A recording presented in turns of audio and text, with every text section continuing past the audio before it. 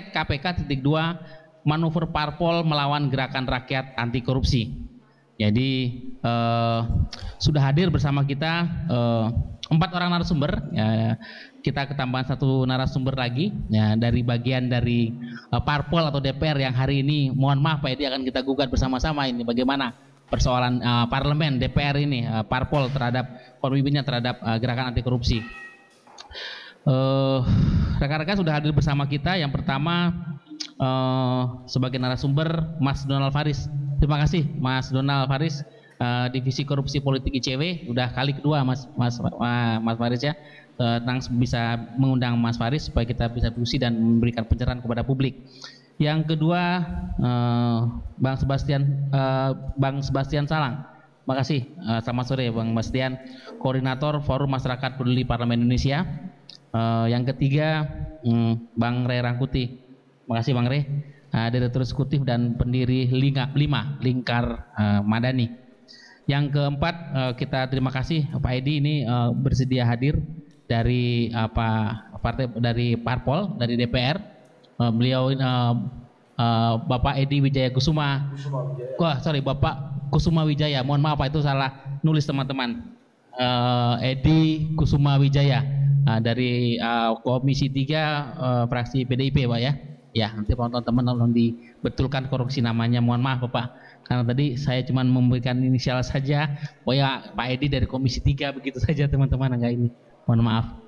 Uh, beliau ini uh, apa namanya uh, empat pembicara ini akan kita memberikan apa uh, uh, apa namanya analisanya atau uh, untuk statement kita pada hari ini uh, menjadi menarik karena uh, dengan kehadiran Pak Edi uh, kita bisa juga menentukan sebenarnya apa yang sebenarnya terjadi di Senayan kemarin Pak.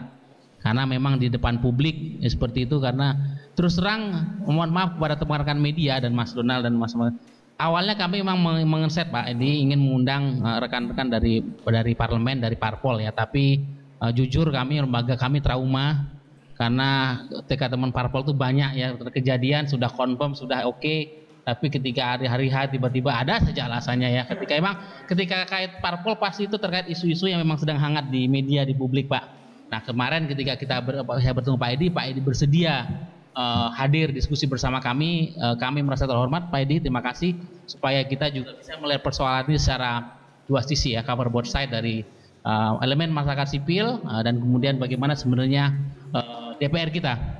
Mungkin saya akan mulai dari Pak Edi, dari karena eh, nama Pak Edi pada Sabtu kemarin Pak itu muncul sebagai salah satu pengusul hak angket. Itu yang di media beredar banyak Pak uh, dari PDIP ya, dari Komisi 3 emang usulan angket ini muncul dari Komisi 3 tetapi yang kemudian menjadi drama politik yang menarik dilihat bagaimana pimpinan uh, sidang pada saat itu di tengah interupsi yang masih banyak terjadi di tengah sebenarnya ada uh, mekanisme dan tatip uh, DPR ya Mas Donald ya uh, tiba-tiba main ketuk palu soal usulan hak angket.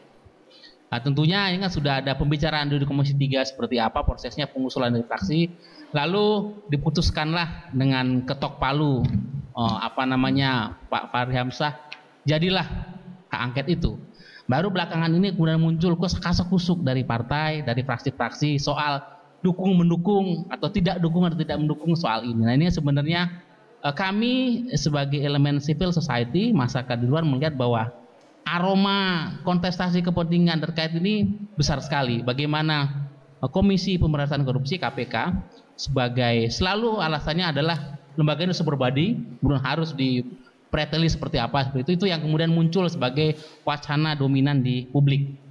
Uh, kita tidak tahu sebenarnya apa yang terjadi apa namanya kan berapa kali nih zaman pemerintahan Pak Jokowi ini usulan-usulan dari pemerintah, dari DPR, dari beberapa fraksi ingin melakukan sebenarnya uh, isu besarnya adalah ya mohon maaf kalau saya ini isu besar memang terkait angket uh, penyidikan kasus pemeriksaan terhadap apa Ibu Miriam ya, tetapi persoalan EKTP, tapi sebenarnya kami menangkap bahwa isu besarnya adalah ada upaya untuk katakanlah uh, mengurangi kewenangan KPK, pengembosan soal KPK soal isunya selalu KPK seberbadi segala macam. Uh, itu yang kami lihat secara sebagai isu besar. Nah, uh, kami minta Pak Edi untuk kemudian menuturkan sebenarnya apa Pak sebenarnya yang uh, yang terjadi saat itu ketika ada pengusul uh, dari uh, partai kemudian dibawa ke paripurna dan terjadi drama politik uh, soal angket yang sampai hari ini bergulir. Nah, sekarang fraksi-fraksi malah justru uh, main fit and see nih, partai mana yang ini mana itu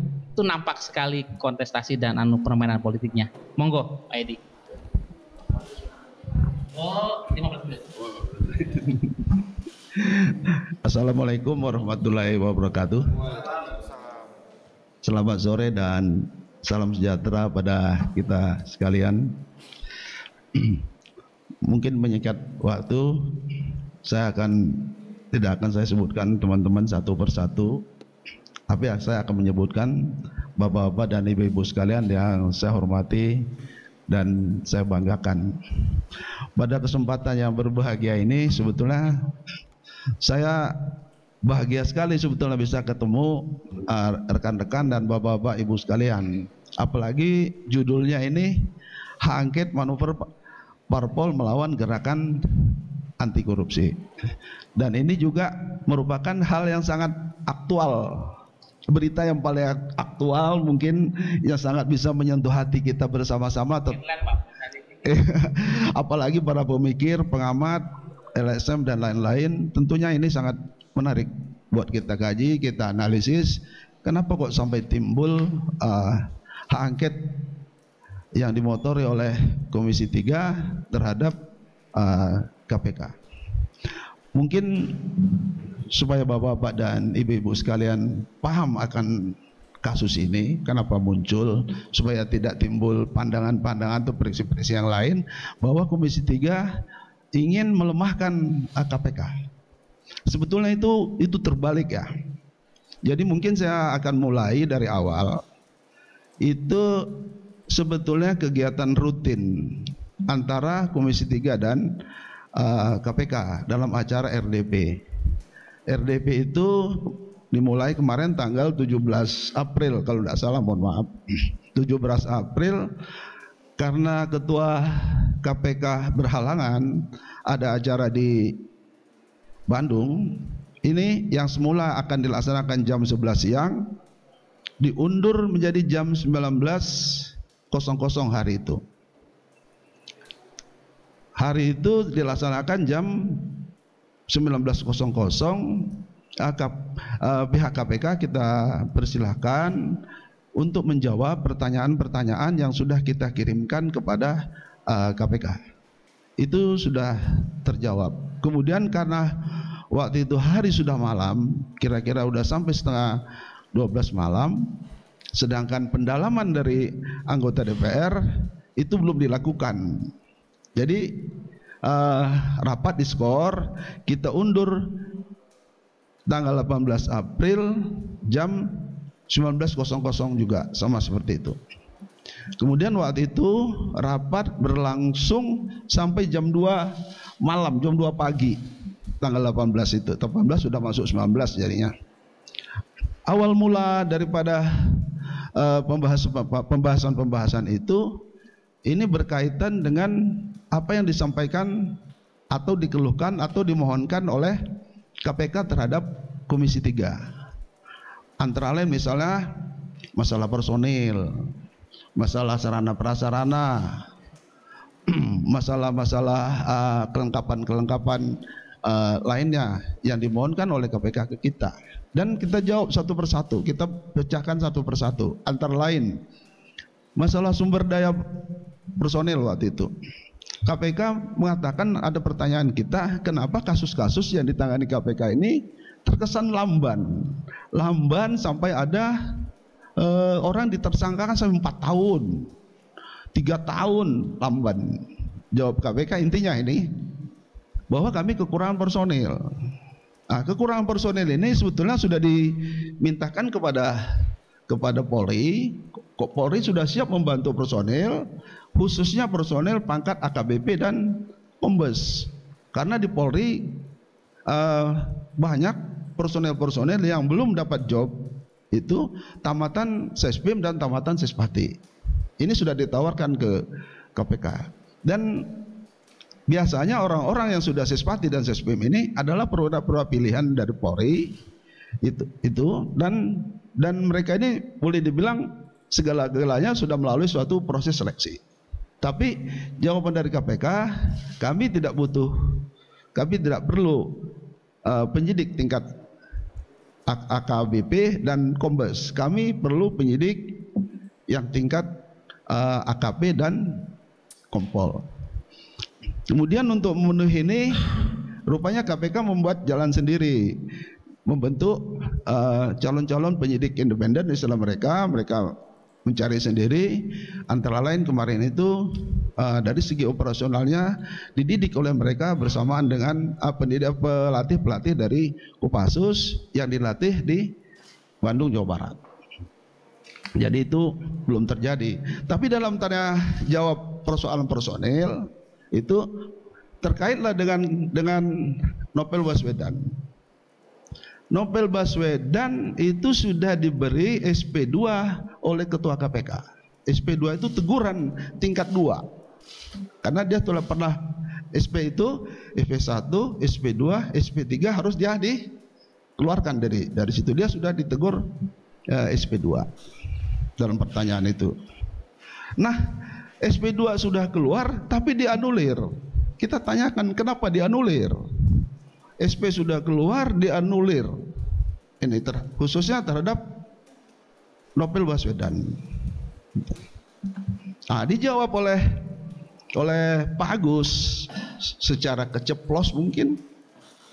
Pak Agus mengatakan, mohon maaf ya, kenapa ini saya sampaikan?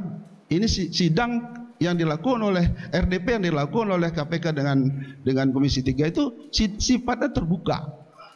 Dan ini kita tawarkan apakah ini RDP kita terbuka atau tertutup. Semua minta terbuka termasuk dari KPK. Jadi Pak Agus keceplos bahwa mengatakan sebetulnya di KPK itu sekarang sedang ada konflik. Wah, ini timur reaksi dari dari Komisi 3. Ada konflik. Itu. Kita tanyakan konflik antar ini saya ringkas ya, konflik antar siapa dengan siapa. Kemudian kenapa konflik? Dan bagaimana komisioner mengatasi konflik ini? Ah, disebutkan oleh Pak Gus bahwa konflik ini terjadi antara penyidik Polri dengan penyidik independen yang dibentuk oleh KPK sendiri. Antara penyidik Polri dan penyidik independen yang dibentuk oleh KPK sendiri. Kenapa terjadi konflik? Menurut Pak Agus, karena penyidik-penyidik yang senior itu merasa besar, merasa lebih tinggi dari penyidik-penyidik lain, termasuk dari komisioner. Mereka mengatakan kamilah penyidik-penyidik ahli yang sekian sudah sekian tahun mengabdi di KPK. Nah, pertanyaan ini mengundang saudara reaksi. Kalau ini terjadi konflik di dalam penyidik dan di dalam tubuhnya KPK, bagaimana KPK menangani kasus-kasus? Akhirnya menyebar. Makanya kasus banyak tidak beres ditangani oleh KPK. Kita bilang gitu. Banyak kasus, kasus senturi tidak beres. Kasus apa itu? Yang pelabuhan tuh, apa Pelindo? Ah? Pelindo tidak beres, kasus ini tidak beres, kasus ini tidak beres. Apa kita katakan tidak beres kasus senturi? Kasus Senturi sampai sekarang hanya diusut satu orang direktur. Apa satu orang direktur itu yang korupsi? Mana kasus lainnya? Berentetlah kasus ini terhadap permasalahan itu. Akhirnya dia bersambung kepada kasus penyiraman mukanya mukanya Novel Baswedan. Kasus penyiraman uh, mukanya Novel Baswedan dengan katanya dengan air keras. Kita punya asumsi-asumsi, punya analisis punya analisis. Sebetulnya kira-kira apa penyebab kasus diseramnya muka Nobel eh, oleh orang yang tidak dikenal dengan air keras? Kita minta diuraikan bagaimana lukanya, lukanya uh, mukanya Nobel Baswedan sampai dibawa ke ke Singapura. Diterangkan oleh Pak Saud, Saud, eh, bukan diterangkan oleh Pak Laude Sarif cerita ini. Tapi lukanya sangat apa? Sangat sangat tidak masuk akal kalau diseram sama sama air keras. Kita contohkan dua kasus besar penyiraman air keras.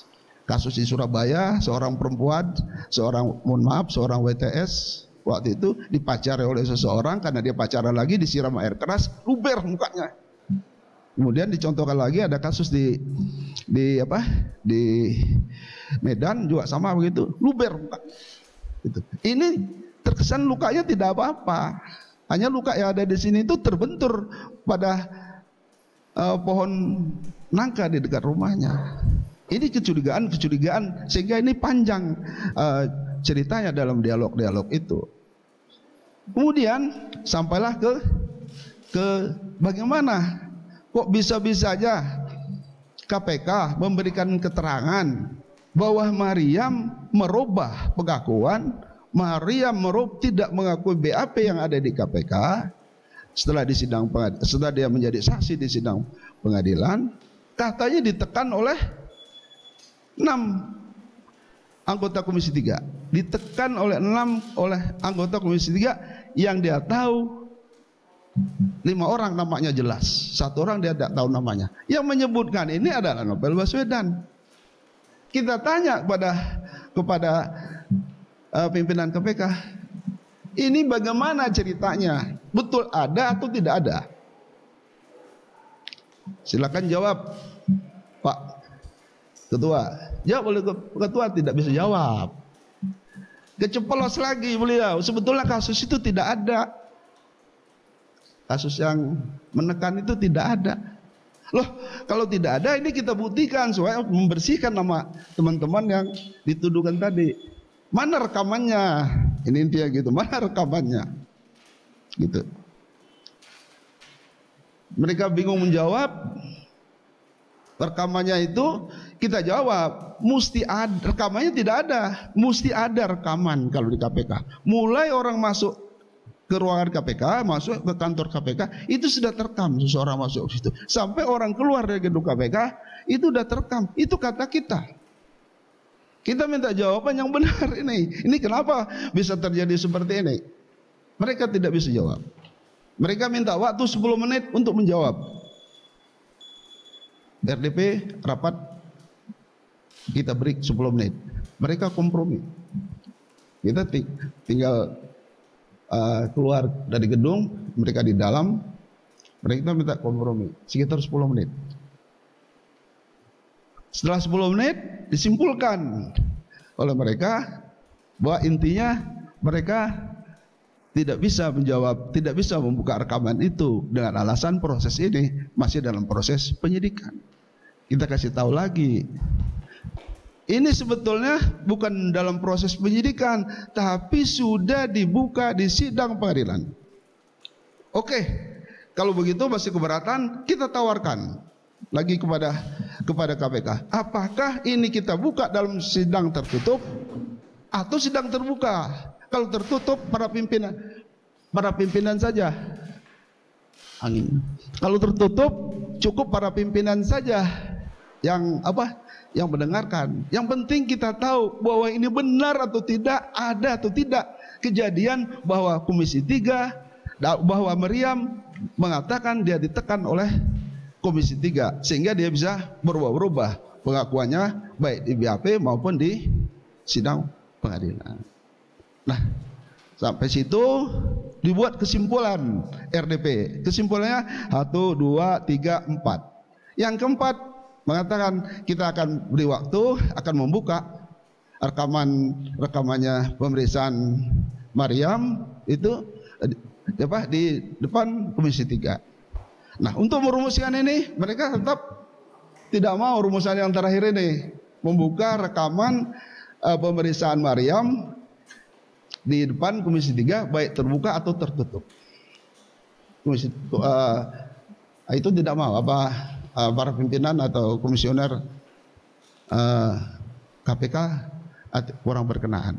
Nah kalau tidak berkenaan, kalau udah posisi yang begini, kata komisi 3, kami akan tekan Komisi 3 uh, KPK melalui proses uh, angket melalui proses angket secara legal supaya rekaman itu dibuka ada atau tidak nah, akhirnya kita rapat semua tadi semua praksi waktu itu hadir eh, semua perwakilan praksi dari eh, semua anggota yang dari praksi itu hadir waktu itu udah setuju semua.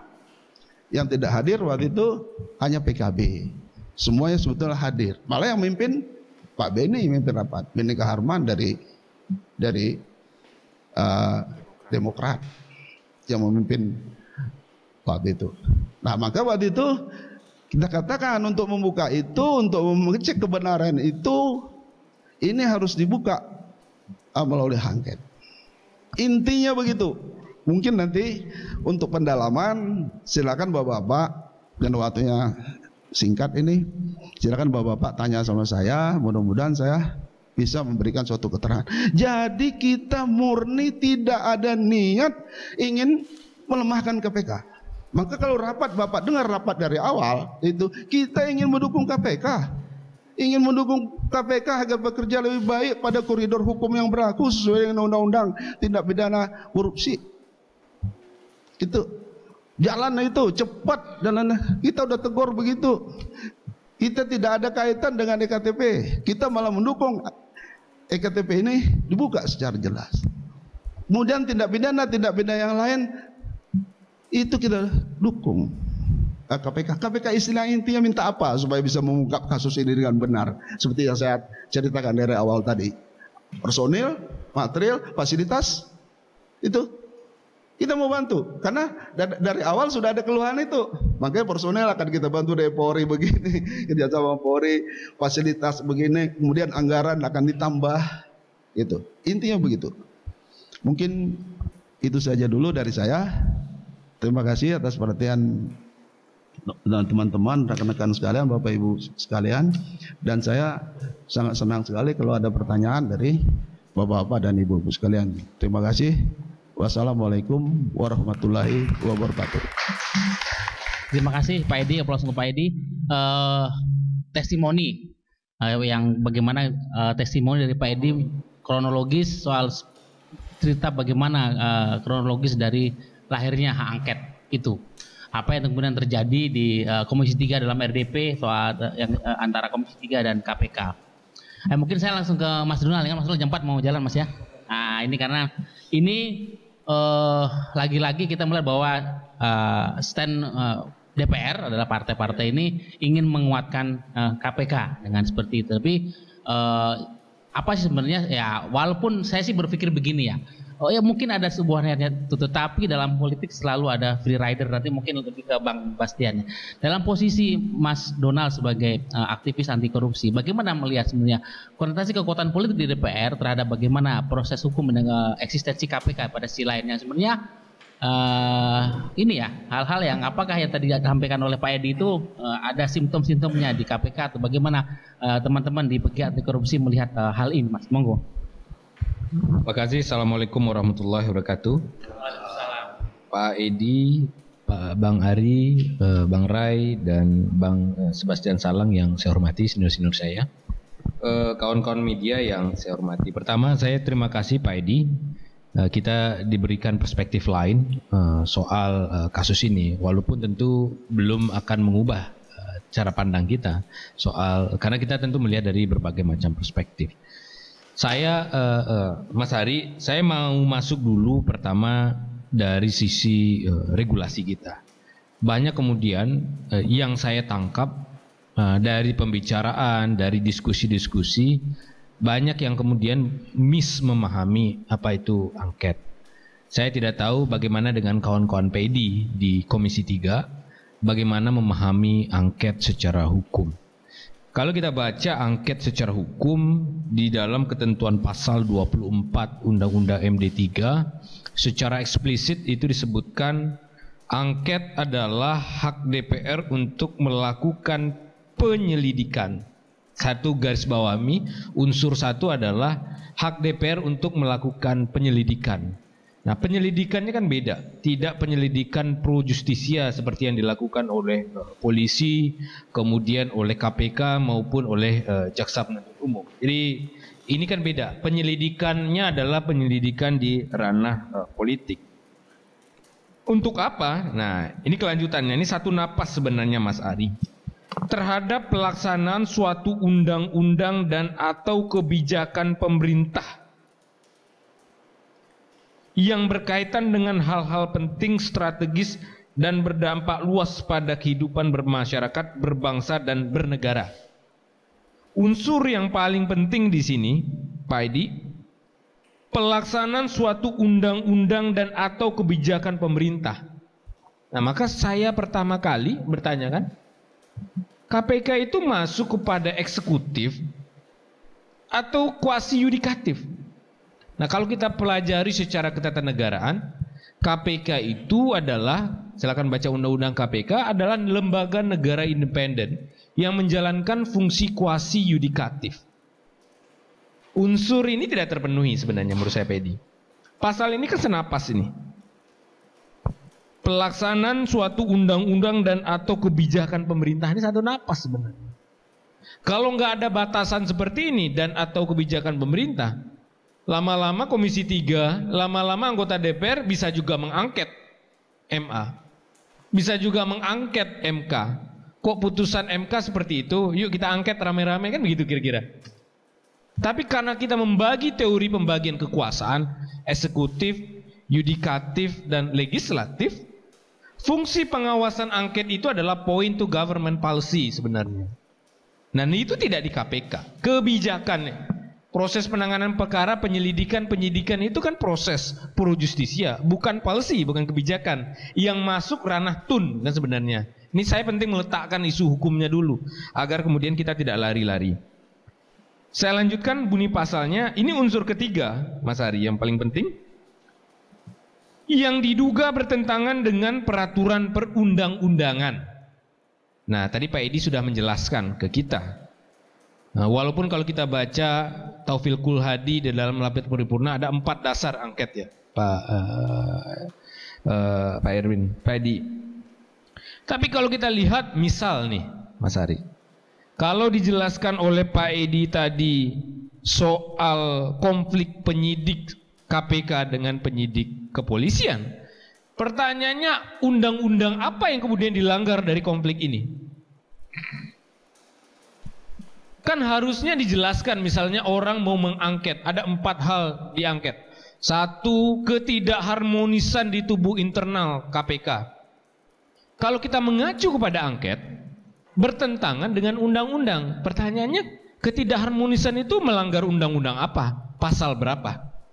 Dan Taufil Kulhadi sebagai pengusung angket kan tidak menjelaskan itu kemarin. Nah harusnya dalam pembacaan angket itu menjelaskan undang-undang dan pasal berapa yang dilanggar. Karena syarat angket menyeratkan bertentangan dengan undang-undang. Nah itu kan nggak ada. Kalau kita mau jujur, misalkan saja Bapak dan Ibu. Ini karena Pak Edi pernah di kepolisian. Kalau di polisi itu bahkan ada anggota yang nembak komandannya karena stres. Ya nggak Bedi? Kenapa nggak diangket itu? Itu bakal lebih parah lagi daripada konflik di internal. Ditembak loh sampai hilang nyawa gitu. Kira-kira begitu. Jadi kalau tidak harmonis saja itu biasalah dinamika. Dinamika menurut saya di internal kelembagaan ya di situlah kemudian menguji leadership dari pimpinan KPK eh, itu sendiri. Jadi menurut saya satu angket ini tidak memenuhi syarat formil di dalam pasal 24 Undang-Undang MD3. Jadi tadi di awal saya sudah menyampaikan uh, Mas Ari, apa kemudian maksud dari pasal 24 Undang-Undang MD3 itu sendiri? Itu itu makna pertama. Kedua, nah ini yang paling penting, proses paripurna yang terjadi kemarin. Jadi syarat undang-undang dan proses paripurna. Kalau kita baca dalam ketentuan pasal 199 Undang-Undang MD3 tentang mekanisme angket itu sendiri minimal diajukan oleh 25 orang anggota DPR RI. Pertanyaan kemarin Pak Edi ikut namanya tapi tanda tangannya nggak ada ya Pak Edi ya? Ada ya? Belum ditandatangani. Yang saya lihat yang saya lihat jumlahnya 16 kemarin. Benar nggak Pedi? 26 sih. Di awal 26 setelah paripurna. Udah 26. Oke lah, anggap kita 26. Ada dua versi hukum. Versi hukum pertama 26, versi hukum kedua 16. Seperti yang tadi yang di media. Saya mudah-mudahan Mas Ari juga cek itu. Dan 16. Kalau 16 berarti syarat formil pertama tidak terpenuhi. Jumlah minimum orang. Oke? Jumlah proses yang kedua anggaplah saya mengamini apa yang disampaikan oleh Edi tadi. Anggap 26. Kita balik ke formil yang kedua. Disetu, dihadiri oleh setengah dari lebih dari satu anggota DPR dan disetujui oleh setengah lebih satu. Apakah itu terjadi kemarin? Tidak. Baru Pak Martin Huta Barat ngomong pindah kemudian ke Demokrat, Demokrat pindah ke Masinton Pasar Ibu, udah. Proses berhenti, Fahri ketuk palu. Jadi kalau ditanya ke Fahri Hamzah sekarang tuh, Pak Edi, Mas Ari, berapa orang dari jumlah N plus 1 itu yang menyetujui? Pasti nggak bisa jawab. Karena kalau kita baca tatip nomor 1 tahun 2014, yang poin pasalnya 234 kalau saya tidak salah, tentang mekanisme pengambilan keputusan, pimpinan itu memfasilitasi untuk musarah dan mufakat. Kalau musyawarah dan mufakat tidak tercapai, maka akan dilakukan voting. Nah, kemarin kan tidak tercapai musyawarah dan mufakat. Maka yang harus dilakukan adalah voting. Pertanyaannya, apakah mekanisme voting dilakukan kemarin? Kalau kita baca tatip, pimpinan itu menghitung jumlah anggota yang hadir, dan setelah dihitung jumlah anggota yang hadir, jumlahnya N plus 1 atau setengah plus 1, kemudian baru dilakukan mekanisme voting. Dan itu kan tidak dilakukan. Ketuk palu, begitu saja. Jadi saya mau menyimpulkan, secara formil, baik mekanisme pengambilan keputusan, maupun objek yang diatur dalam pasal 24 Undang-Undang MD3, proses angket cacat hukum. Proses angket cacat hukum.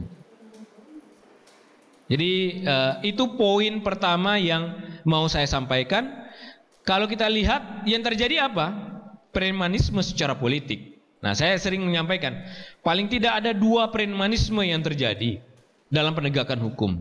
Satu, premanisme fisik, itu yang terjadi terhadap Novel Baswedan, diserang, disiram oleh air keras, dan premanisme secara politik. Dan angket kemarin menurut saya premanisme secara politik. Kan kalau kita baca di dalam undang-undang, yang mengambil suara itu adalah anggota, bukan fraksi. Jadi setengah dari lebih dari setengah plus satu dari anggota yang hadir, bukan fraksi yang hadir, anggota yang hadir. Nah pertanyaannya berapa anggota yang hadir dan berapa yang setuju kemarin? Itu bakal tidak bisa dihitung karena proses itu tidak dilalui. Nah jadi standing saya yang yang pertama uh, uh, mau menyampaikan bahwa ini cacat hukum, tidak memenuhi syarat formil dan tentu konsekuensi yuridisnya tidak bisa dilanjutkan kepada proses-proses uh, selanjutnya. Itu yang pertama. Yang kedua, saya mau uraikan uh, juga. Uh, yang kedua, Pak Edi dan kawan-kawan di Komisi 3, saya termasuk orang yang setuju KPK harus dikritik. Pak Edi.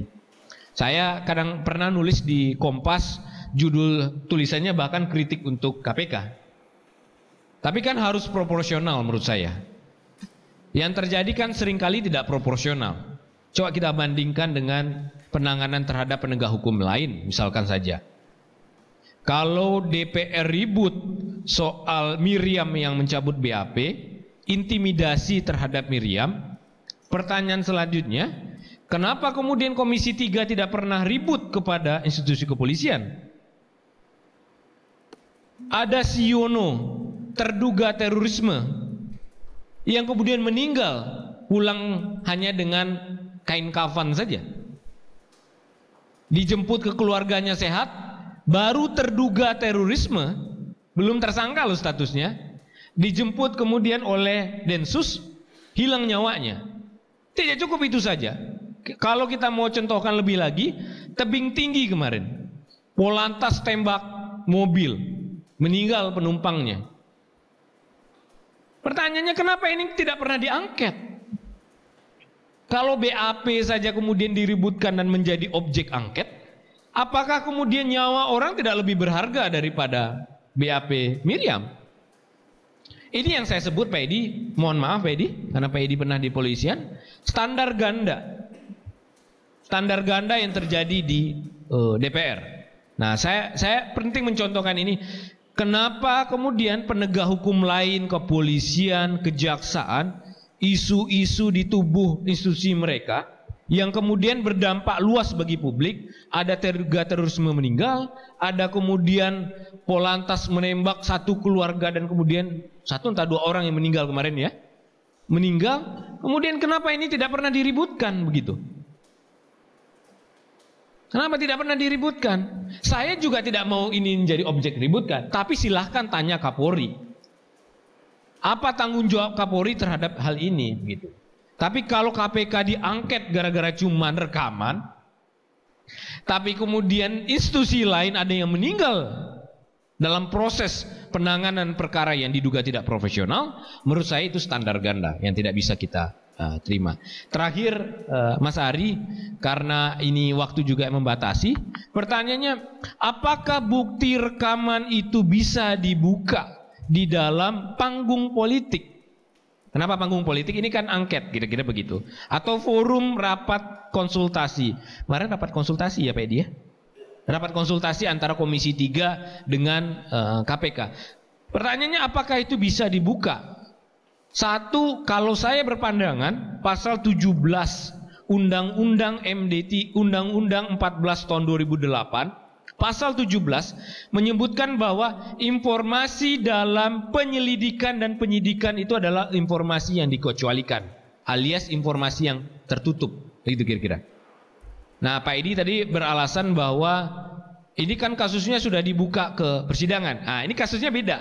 Yang sudah disidang adalah Dirjen Dukcapil. Prosesnya adalah kasus suap. Miriam itu baru tersangka dalam kasus pasal 21 dan 22 Undang-Undang 3199. Prosesnya masih proses penyidikan karena dia belum dilimpahkan ke pengadilan. Informasi itu tertutup. Informasi itu tertutup, dikecualikan. Kalau mau dibuka, saya setuju Pak Edi dibuka. Tapi di panggung pengadilan. Karena saya yakin Miriam ketika didakwa melakukan pasal di ketika didakwa dengan melakukan pelanggaran pasal 22 pasti rekaman itu akan dibuka sebagai alat bukti material di persidangan. Jadi pengadilan kan nanti akan bertanya, jaksa mendakwa pasal 22, mana bukti dia berbohong? Pasti rekaman itu akan dibuka. Biarlah kemudian pengadilan yang akan menjadi panggung hukum untuk menilai Benarkah KPK berbohong? Benarkah Miriam berbohong? Atau siapa orang lain yang berbohong? Bukan di panggung politik. Nah itu yang kami sebenarnya kurang terima, Pak Pak Edi. Bukannya di panggung hukum, di pengadilan. Bukan di panggung politik. Kenapa? Karena kesimpulannya bukan kesimpulan hukum yang akan keluar walaupun oleh komisi hukum. Kesimpulannya akan kesimpulan politik. Nah, yang berlaku adalah subjektivitas politik, bukan objektivitas hukum. Kalau di politik itu, kalau orang bilang ini adalah air warnanya merah, 10 orang menyebut ini warnanya merah, orang lain juga akan pasti ragu. Jangan-jangan ini juga merah. Kan begitu teorinya akan berlaku. Kesimpulannya adalah kesimpulan mayoritas, bukan kesimpulan objektivitas hukum. Nah, ini ini yang menurut kami, Pak Edi, harusnya PDIP Nah, ini melalui PID uh, kami sampaikan harusnya sudah mulai berpikir kembali. Tiga tahun pemberantasan korupsi di era Jokowi, KPK ini kembang kempis. Konflik dengan Budi Gunawan, kemudian revisi undang-undang KPK. Orang yang saya khawatirkan, orang akan membayangkan tiga tahun di rezim Jokowi ini dengan 10 tahun di rezim SBY. Kalau memori itu dikenang orang, membahayakan loh bagi PDIP. Baru tiga tahun berkuasa, orang kan punya kesimpulan baru tiga tahun berkuasa terjadi seperti ini, seperti ini, seperti ini. Nah, orang akan mengingat di zaman SBY terjadi kriminalisasi KPK, tapi kan ada perintah, ada keterlibatan presiden untuk menuntaskan hal-hal uh, seperti itu. Jadi menurut saya kita akhiri karena akan justru merugikan partai, merugikan orang-orang benar di DPR. Karena ini akan terjadi generalisasi. Semuanya dikira kemudian akan berpikir yang sama. Jadi menurut saya ini penting kita uh, mengingatkan kepada the ruling party, partai yang sedang berkuasa Uh, tentu ini akan uh, membuat memori publik teringat bahwa KPK di zaman pemerintahan Jokowi selalu tertindih-tindih dan berjalan tertati-tati. Kira-kira itu Mas Ari. Saya mohon maaf karena memang ada janji juga, tapi jam 4 pas nanti akan saya jalan. Uh, satu tadi di periode Pak Jokowi memang KPK ini nampak sekali Pak dari awal pemerintahan itu konflik juga KPK dengan polisi segala macam itu muncul lagi dan sampai sekarang tuh KPK memang Nah, itu catatan memang dari uh, teman-teman uh, dari masyarakat anti korupsi. Ya tadi persoalan-persoalan terkait dengan sebenarnya prosedur uh, angket seperti apa tadi Mas Donald sudah sangat clear seperti itu. Nanti mungkin ada sesi lagi Pak Edi akan menanggapi. Berikutnya uh, mungkin saya lari ke ini pengamat parlemen. Nah, oh. Uh, pengamat parlemen ini uh, Bang Sebastian Salang. Ini selalu terjadi bahwa akan apa kap, apa, parlemen ini DPR ini selalu merasa tidak mau melakukan pelemahan KPK. Tetapi tadi kan bagaimana sebenarnya pada sisi KPK sendiri dan masalah interkusi merasa bahwa selama tiga tahun ini upaya penggebosan selalu kelihatan. Jadi tadi sudah uh, apa Pak Edi sudah menjelaskan dari versi DPR lalu Bung Ronald juga sudah saya kira lengkap sekali menguraikan Eh, soal angket ini, saya uh, tidak lagi menjelaskan atau mengulang apa yang sudah ada. Saya mencoba melihat dari tepi yang lain, gitu ya, uh, supaya lebih uh, berwarna saja. Uh, yang pertama, DPR itu memiliki salah satu fungsi yang sangat strategis yang dimiliki oleh DPR itu adalah fungsi pengawasan dan eh, dari tiga fungsi yang apa yang dimiliki oleh DPR itu dari hasil evaluasi kita selalu yang paling dominan dipakai oleh DPR itu adalah fungsi pengawasan fungsi legislasi fungsi anggaran dan fungsi pengawasan. Dari ketiga fungsi itu yang paling dominan dan paling banyak digunakan oleh DPR itu adalah fungsi pengawasan. Uh, meski demikian kita tidak perlu tanya sejauh mana efektivitas dari fungsi pengawasan. Ya. Tapi setelah kita nilai, kita analisis memang yang paling banyak digunakan itu. Nah, berkaitan dengan fungsi pengawasan, itu dalam pelaksanaannya ada beberapa hal. DPR bisa eh, apa mengundang mitra kerjanya untuk mengadakan rapat dengar pendapat, rapat kerja atau rapat konsultasi. Nah, pada forum-forum seperti itu DPR bisa bertanya apa saja. DPR bisa meminta penjelasan apa saja berkaitan dengan mitra kerjanya. Jadi eh, sebetulnya forum pengawasan model seperti ini itu sudah cukup bagi DPR kalau tadi yang dimaksudkan itu adalah meminta penjelasan berkaitan dengan rekaman. Begitu. Pertanyaannya kemudian kenapa harus loncat langsung ke eh, apa hak angket? Nah, kalau kita bicara angket memang begini dalam sejarah angket sejak tahun eh, 50-an di masa Orde Baru memang sampai hari ini belum ada catatan bahwa angket yang digunakan oleh DPR itu udah? Sip, sip, sip, sip. ya. Ya dalam sejarahnya itu belum ada satupun angket yang betul-betul mencapai tujuan dari apa yang mereka lakukan. Baik sejak zaman Orde Baru eh zaman Orde Lama Orde Baru maupun eh, apa Orde Reformasi ini. Nah, pada masa Orde Lama maupun Orde Baru, hak angket ini jarang digunakan. Tercatat hanya satu kali di Orde Lama, Orde Baru juga cuma sekali. Begitu masuk Orde Baru, angket ini itu menjadi apa ya? Menjadi salah satu hak yang sering kali digunakan oleh DPR. Padahal hak angket ini adalah hak yang paling strategis yang dimiliki oleh anggota DPR, tapi sekaligus juga hak yang paling sulit sebetulnya dalam pelaksanaannya. Mengapa? Karena DPR harus bisa membuktikan melalui proses penyelidikan itu harus bisa membuktikan mengenai dugaan ada pelanggaran pelaksanaan kebijakan atau pelanggaran pelaksanaan undang-undang. Jadi ketika mereka berani mengajukan hak angket harus bisa membuktikan dugaan yang mereka lakukan. Begitu. Karena itu memang tidak mudah. Banyak sekali angket itu sebetulnya berhenti di tengah jalan. Gitu. Nah, tapi kalau bicara soal pola angket, begini.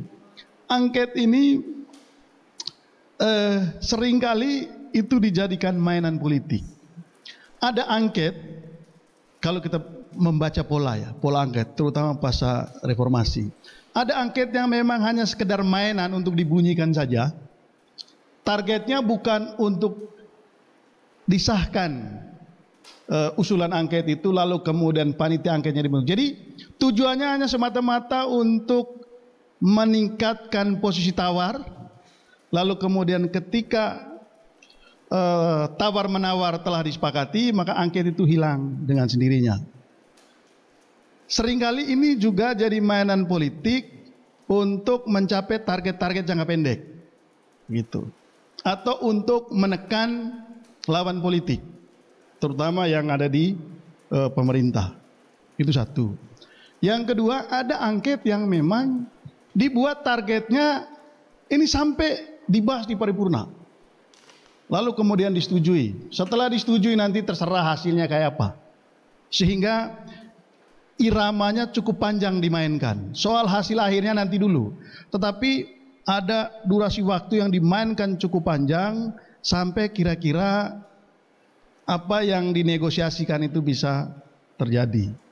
Lalu kemudian ada angket yang bisa sampai selesai tapi hasilnya nggak jelas. Nah, saya ngambil contoh pada masa Orde Baru, eh pada masa eh, apa?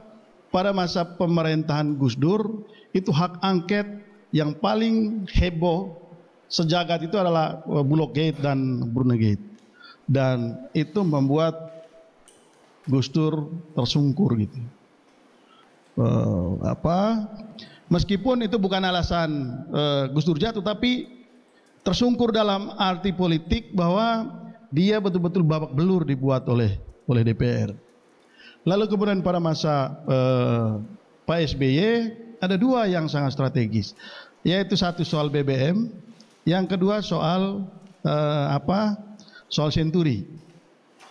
Senturi itu rating di televisi itu mengalahkan semua sinetron yang paling hebat di di uh, televisi kita, televisi swasta. Mengapa? Karena dibuat sebagai sebuah drama politik yang luar biasa dasarnya oleh DPR pada saat itu ketika pertama kali mereka uh, terpilih dan seakan-akan DPR menunjukkan sikap heroiknya gitu, sikap nasionalisme karena ingin menyelamatkan 6, uh, berapa 6,7 triliun. Tapi hasilnya apa sampai sekarang? Itu nggak jelas juga. Padahal itu salah satu angka yang dianggap paling berhasil. Tapi ujung-ujungnya juga nggak jelas. DPR membentuk eh, apa tim pengawasan, tim pengawasnya juga menguap begitu saja, nggak jelas hasilnya apa. Gitu. Lalu kemudian pada masa eh, apa pada masa Jokowi ini sudah empat kali usulan angket dilakukan.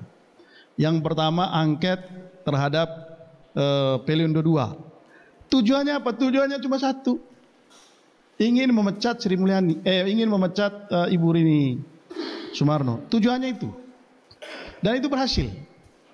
Memecat uh, Ibu, mengusulkan, merekomendasikan untuk memecat Ibu uh, Rini Sumarno, tapi presiden bilang itu sudah mencampuri urusan saya gitu, hak prerogatif saya. Alhasil DPR dipermalukan karena rekomendasi mereka tidak dianggap oleh presiden. Begitu. Apakah masalah Pelindo 2 beres? Enggak beres juga. Apakah DPR tetap konsen gitu untuk mencermati apa yang terjadi dengan Pelindo sampai sekarang? Enggak juga, karena selesai kepentingannya. Hanya berhenti di situ gitu. Lalu kemudian setelah itu kita ikuti misalnya angket soal penyadapan pembicaraan Pak SBY. Heboh, heboh, heboh, heboh, heboh, heboh. Ya tujuannya untuk menekan Ahok. Lalu kemudian pansus lagi terhadap uh, Menteri Dalam Negeri agar uh, karena Menteri Dalam Negeri menonaktifkan supaya tidak dinonaktifkan. Geber, geber, geber, geber, lalu tidak penting sampai ke paripurna berhenti saja. Yang penting ini sudah uh, naik. Lalu kemudian yang sekarang ini angket soal uh, apa uh, KPK. Jadi kesimpulannya begini, dari sekian banyak cerita angket tadi, pertama angket itu sudah jadi mainan politik DPR. Mainan politik untuk meningkatkan posisi tawar atau untuk melakukan negosiasi tertentu. Apa pun itu.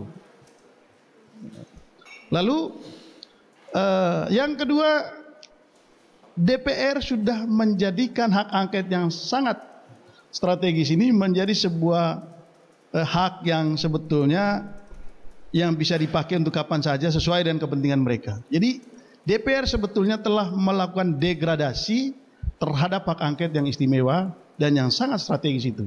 Begitu. Lalu kemudian eh, apa? Bagaimana dengan angket KPK? Ini pertama kali dalam sejarah bahwa angket KPK ini eh, angket yang dilakukan oleh DPR itu sasarannya adalah lembaga penegak hukum. Dan ini belum pernah ada dalam sejarah. Dan ini menjadi presiden buruk. Dan ini menjadi warning bagi kita semua. Kalau sampai ini dibiarkan dan ini sampai berhasil nanti begitu ada lembaga penegak hukum yang mengganggu DPR diangketin lembaganya. Pertanyaannya untuk apa? Tujuannya jelas. Ini pasti ada hubungannya dengan kasus yang sedang ditangani. Meskipun bisa diklarifikasi. Tapi kalau tujuannya untuk memperkuat KPK, kalau tujuannya untuk memperbaiki KPK, kenapa baru sekarang? Persoalan yang disebutkan tadi itu persoalan yang sudah lama terjadi. Kalau mau memperbaiki, pertanyaannya apakah harus angket? Bisa membentuk tim, melakukan kajian, melakukan evaluasi, apakah tim independen atau melalui proses yang tadi saya bilang pengawasan. Tapi ini angket. Itu satu. Jadi ini jelas gitu terlihat sekali ada benang merah bahwa angket ini memang digunakan untuk apa namanya mengganggu proses hukum yang sedang dijalani oleh mitra sejawatnya gitu. Karena yang disebut oleh KPK sorry, yang disebut di dalam uh, eh, BAP itu adalah sejumlah nama yang tidak main-main. Selain jumlahnya banyak anggota DPR yang disebut dan orang-orang yang muncul juga orang-orang hebat gitu, orang-orang penting. Karena itu sulit sekali kita mengabaikan cara berpikir kita bahwa angket ini tidak ada hubungan sama sekali dengan kasus ini. Begitu. Apalagi yang terakhir itu dan itu disampaikan dalam sebuah acara oleh seorang anggota DPR. Kenapa kamu ikut menandatangani hak angket? Ya nama saya disebut. Jadi karena namanya disebut ya menjadi inisiator hak angket itu. Artinya ini jelas bahwa ini angket ini ada hubungan dengan disebutnya sejumlah nama. Begitu. Karena itu saya selalu mengatakan kalau begitu ini angket tujuannya untuk membela rekan sejawat. Gitu dan jelas ini akan mengganggu proses penegakan hukum gitu. Pertanyaannya kemudian apakah ini nanti sampai selesai? Eh, secara pribadi saya berharap angket ini sudah berhenti di tengah jalan. Dalam prakteknya sebetulnya proses tadi eh, apa Donald sudah menjelaskan ini dipaksakan betul, dipaksakan. Nanti dalam proses perjalanannya dari 10 fraksi ini, ini kan tinggal lima fraksi saja yang mendukung. Lima fraksinya menyatakan menarik dukungan. Itu artinya apa? Artinya panitia angket nanti atau pansus ini tidak bisa dong berjalan karena hanya tinggal lima fraksi. Begitu. Maka eh, kuat sekali eh, apa penilaian saya bahwa angket ini akan berhenti di tengah jalan dan memang tidak layak. Tetapi sebetulnya sebagai partai politik menurut hemat saya ini adalah hitungan yang sangat keliru gitu. Pemilu 2019 sudah sebentar lagi, tapi kok partai-partai yang mendukung ini kok mau menggali kuburannya sendiri? Ini menggali kuburannya sendiri. PDIP misalnya. Sebagai partai pemenang, ini kok menjadi followers di urusan ini yang sebetulnya apa sih yang ingin diperjuangkan di situ? Apakah hanya kepentingan satu orang menyeret institusi yang begitu besar dan mengorbankan partai? Kan itu persoalannya. Yang lain lagi, Nasdem. Nasdem ini nggak ada kaitan sama sekali gitu. Nggak ada anggotanya yang terkait dan karena mereka belum ada pada saat kasus IKTP itu terjadi. Oh malah mendukung. Jadi ini yang kemudian menurut saya ini kadang-kadang teman-teman di partai politik lupa melakukan analisis atau kajian mana yang strategis yang perlu didukung, mana yang tidak. Mana yang mencelakakan partai, mana yang tidak gitu. Ini yang saya kira teman-teman partai entah sibuk terutama elit-elit partainya entah sibuk mikirin apa. Jadi lepaslah pemain-pemain liar gitu eh, di lapangan yang mengolah kasus ini menjadi sesuatu yang dampaknya negatif terhadap partai gitu. Ini yang eh, bayangan saya eh, mestinya nggak perlu sampai bahkan sampai paripurna pun tidak layak gitu angket ini di, dilanjutkan. Tapi ini sudah terjadi. Pertanyaannya, bagaimana kalau angket ini nanti berjalan dan sidang angket berlangsung? Saya kok membayangkan bukan Artinya gini, publik itu pasti posisinya itu pasti mendukung KPK, sebaliknya membenci DPR. Itu posisi satu posisi. Itu bisa di uh, apa namanya bisa diteliti gitu. Uh, tetapi yang kedua, kalau KPK dari selama proses uh, apa dialektika atau diskursus mengenai angket ini berjalan, Alasan-alasan yang rasional kita bisa dengarkan dari KPK. Tapi sebaliknya penjelasan atau argumentasi mendasar dari DPR itu beda antara satu dengan yang lain. Jadi kalau ada 10 anggota DPR, kita berdiskusi gitu, 10-10-nya beda-beda. Apa alasan mengajukan angket itu beda-beda. Artinya apa? Argumentasi dasar kenapa angket ini dilakukan, itu sebetulnya tidak tidak sama dan tidak cukup kuat gitu, tidak cukup beralasan. Nah karena itu saya kira ini memang betul-betul kuburan bagi partai politik karena yang terjadi nanti justru DPR-nya yang akan ditelanjangi. Karena apa? Karena Pak KPK bisa saja nanti menjelaskan secara gamblang bagaimana sih permainan DPR mengambil uang rakyat dari APBN itu sampai 2, sekian triliun itu habis dibagi-bagi. Anda bayangkan. Kalau itu ditelanjangi semuanya, siapa yang malu? DPR, Bos. Nah, ini ini sebetulnya catatan penting bagi DPR-nya. Mestinya ini semua diperhitungkan, dipertimbangkan sebelum membuat keputusan gitu. Tapi ya begitulah eh, DPR. Saya kira uh, kita akan cermati apa yang terjadi nanti ke depan. Saya kira begitu.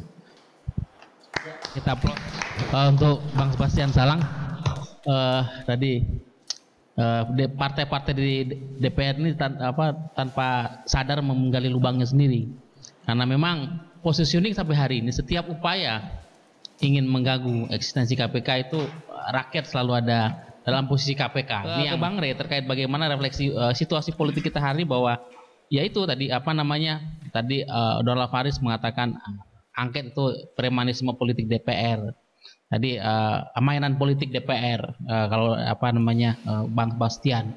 Tadi ada memang kita tidak menutup kemungkinan soal kritik terhadap KPK dan soal substansi yang tadi diatur diutarakan oleh uh, Pak Edi.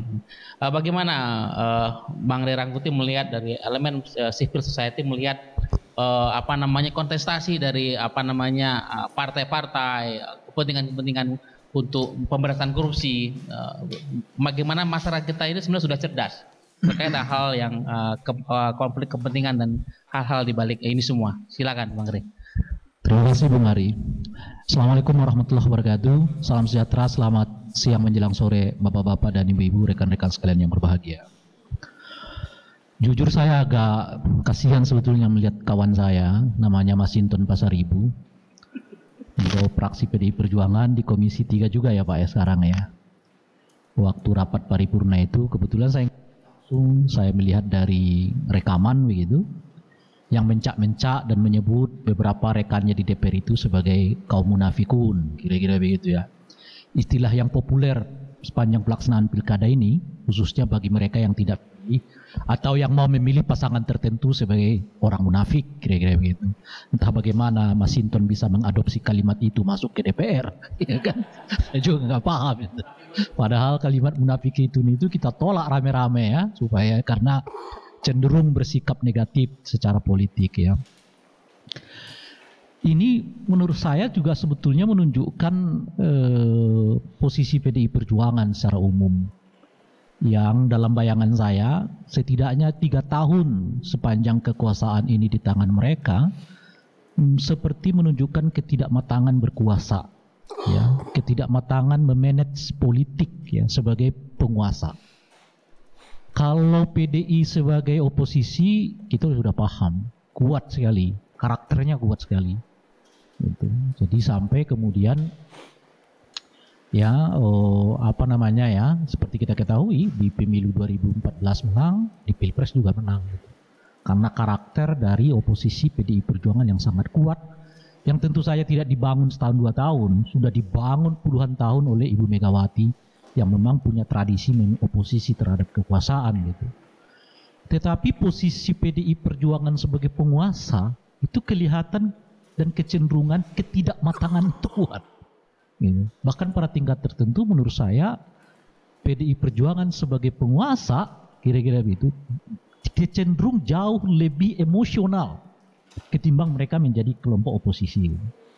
Jadi pendekatan-pendekatannya emosional, cara-cara menjawab politiknya juga mungkin lebih banyak bersifat emosional dibandingkan misalnya kalkulasi-kalkulasi yang bersifat rasional.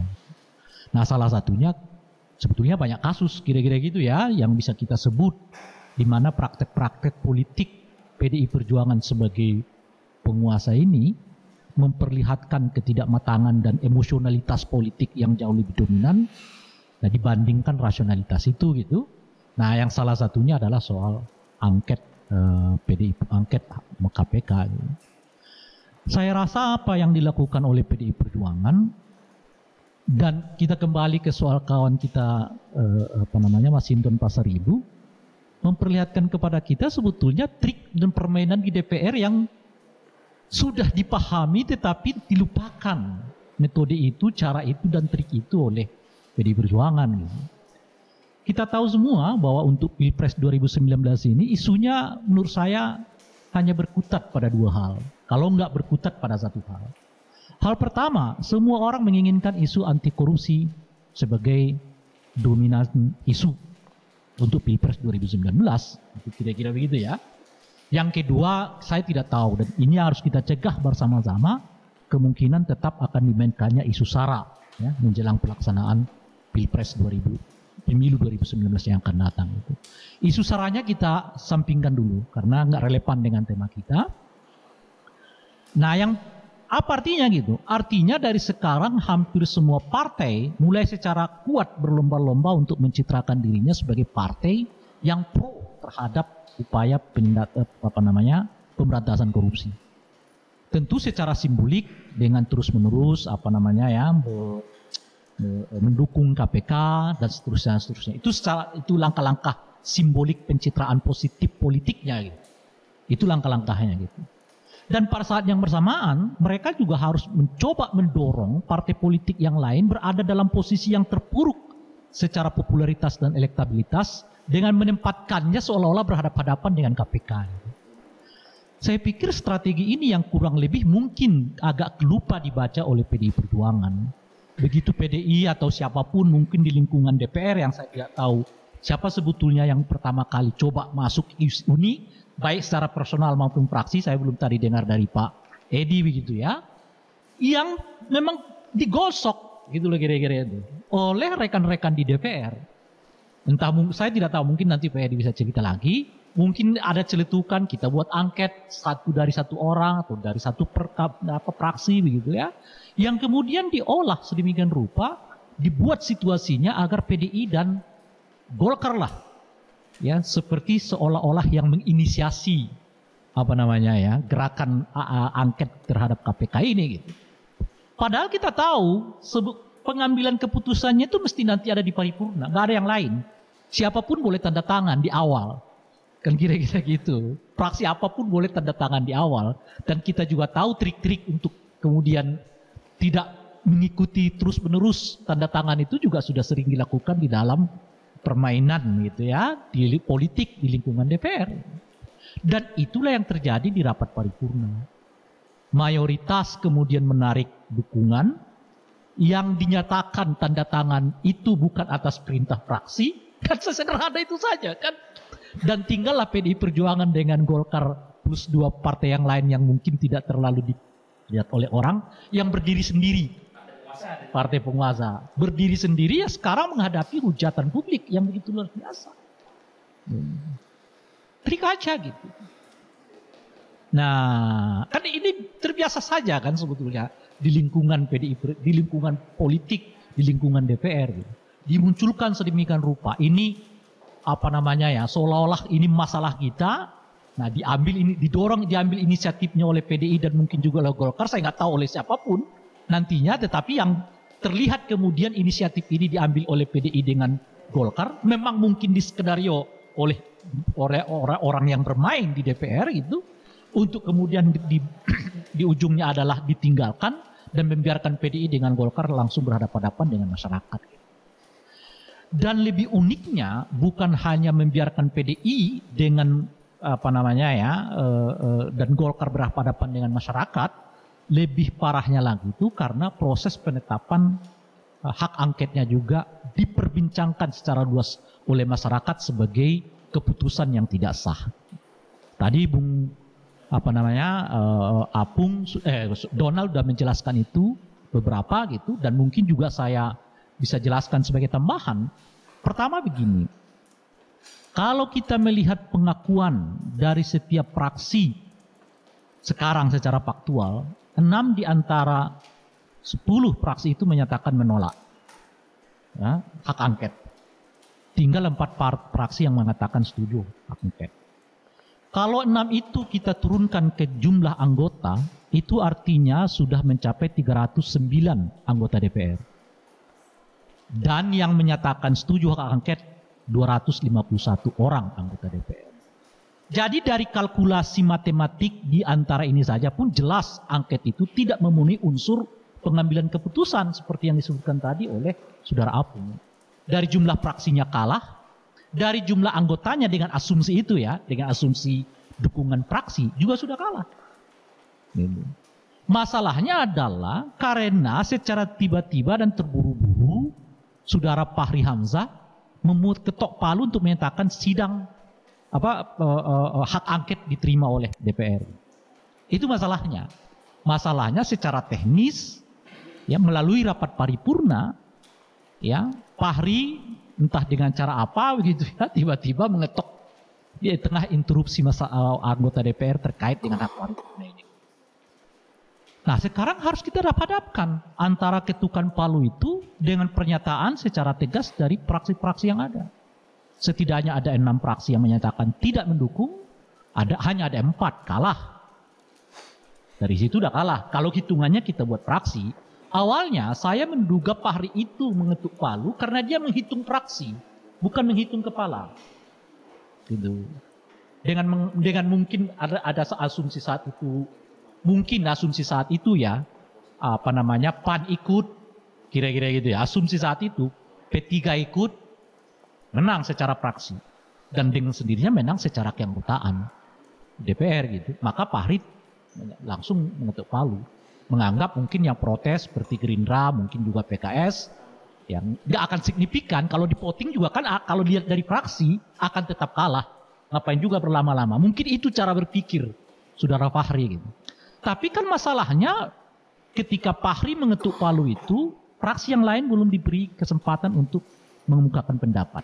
Seperti pernyataan fraksi PAN yang mengatakan kami kenapa kami nggak apa namanya mengatakan baru sekarang menyatakan menolak? Karena kami pada saat itu diberi kesempatan untuk maju ke depan. Langsung diketuk oleh saudara Fahri Hamzah. Gitu kira-kira itu ya. Nah kalau kita menemukan ini bagaimana kita melihat sifat dari rapat paripurna itu? Itu pertanyaannya gitu Bagaimana kita bisa mengatakan mensahkan hasil rapat paripurna yang secara faktual enam praksi menolak hanya empat yang setuju. Kalau praksi itu kemudian dibawa dalam konteks anggota, mayoritas anggota menolak bukan setuju. Bagaimana praksi dan mayoritas anggota yang menolak justru kesimpulan rapat paripurnya malah mendukung. Kan ini aneh gitu. Ini dengan asumsi penolakan itu benar ya benar-benar sebagai sikap politik. Ini kita pakai asumsi itu dulu. Kita tidak berbicara oh, penolakan itu sebagai bagian dan nanti kita berbicara soal itu gitu maksud saya. Bagaimana? Nah ini makin kacau lagi itu yang saya sebut tadi. Jadi dasar dari hak angketnya dipertanyakan, proses pengambilan keputusannya juga dipertanyakan, dan fakta pendukungnya juga dipertanyakan. Tiga kali lipat.